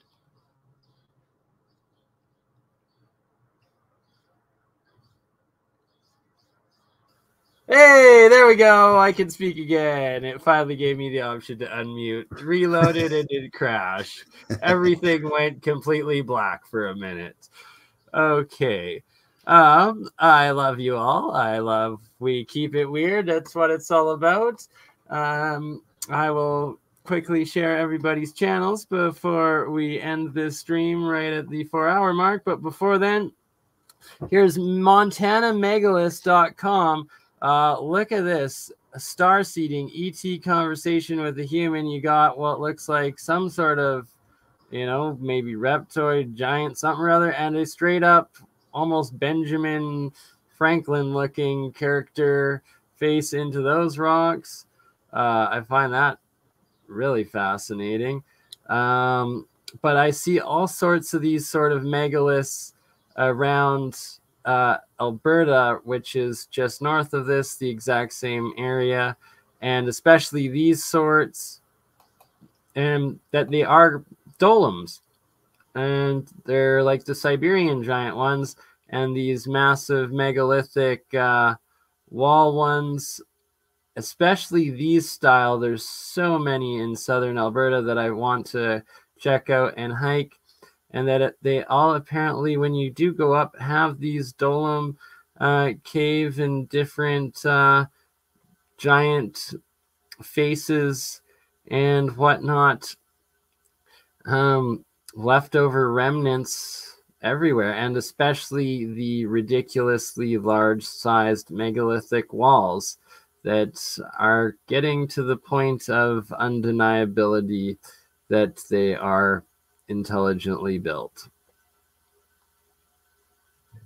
I love watching their videos. They, they seem like just really sweet people, and it'd be fun to go on their one of their tours. I'm gonna get my passport, Bernie. So we got to do some some cool trips. We should get some huge groups together. It'd be super fun to all go go to this. Right? Oh, we definitely are doing a meetup here. Uh, but first, we're going to do the Medicine Hat Badland Guardians, and that is going to happen this month. 100%. Uh, it's just, it's all coming out at once now. Um, this, no, that's Dragon's Temple. Where's the Eagle Amphitheater? See, like, look at these. This right here, this is exactly what I'm talking about at Mount Yamnuska. It's literally. Um, at the mountain top, just pathways, intersecting pathways of this exact same uh, geopolymer or megalithic uh, blockwork, uh, just and even more more block and right angles uh, than what are being demonstrated here. And look, oh, Doctor uh, Sam there this the medicine wheels also gonna be checking them out in this area as well. There's canada's stonehenge that's at least 4500 years old um, also close to the medicine hat badland guardians and look at these like yeah glacial erratics glacier the ice just magically melted so that everything could perfectly balance on top of each other Yes, right? Like, perfectly, just like nature's way. Here we go. Eagle Mount Amphitheater. This actually reminds me as an identical, almost identical feature mountain as uh, the backside of the Three Sisters peaks in Canmore, uh, Mhm. which uh, I've apparently is the intersection of several different ley lines uh, from uh, pictures I've seen of it.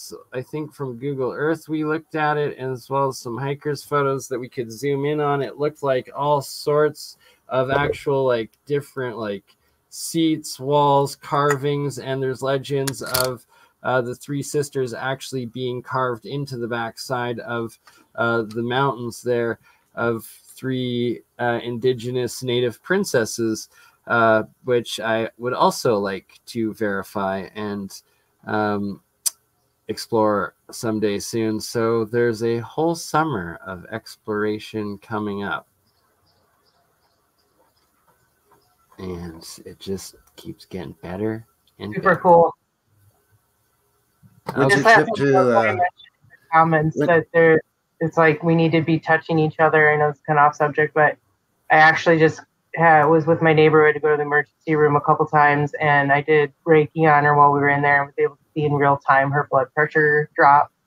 So I'm I agree. We need to hug each other more. There's actually like science behind that too. So just wanted to just saw that comment. To put that out there. Sorry, I'm done now. Say goodbye. Oh, good sister.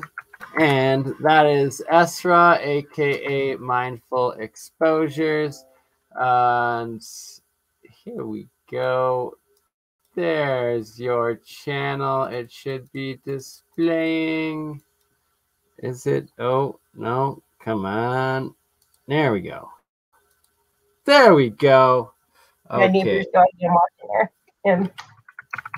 I uh, I don't have a ton of videos up, guys, but actually I do have videos that are like unlisted. And I'm showing people to kind of get their input before I start going live with all my stuff. So I will have like I just did a video on the Revigator or radium water. Um, so I'm kind of excited to do that. I could show you guys. It's five minutes, but I know you, Bernie, you need to get going. now. I, I got to get to work. I'm I am sorry. We can, we can always show it another time. So anyway, Next um, episode. One hundred percent. Thank you for sharing my stuff. Go check it out. There's Go check uh, out Bob's channel. Bob's channel, Martin Fleischmann here. Memorial Project. Then we have Williams channel, Anti- Antediluvian American, uh, as well as Frankie's channel in New West Reset. And I gotta pull up WPG Enlightened for Truth too as Gerald's channel as well. Definitely also subscribe to uh, Gerald's channel. Good, good content.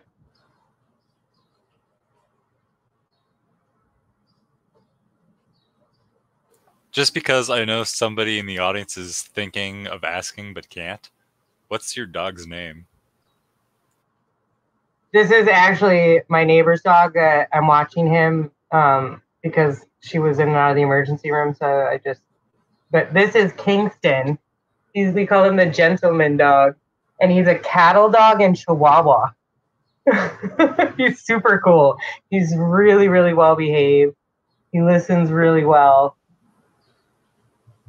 It's a cool He's name too, home. actually. Kingston. I like that. Isn't it? Crashed. Oh dear. And my dog's name is Ladybug. She's sleeping right now. I am back. I've got to go to work. I love you all. We Thank will get you. on the next one. Please I'm not donate to. Bernie so he doesn't Take have care, to work. everybody. Thanks, Bernie. Have a good one, everybody. Please do donate and You love you all. A ta ta. Catch you on the next one. Subscribe to New West Reset, WPG Enlightened for Truth, Mindful Exposures, uh, Martin Fleischmann Memorial Project, of course, and everybody else that has appeared.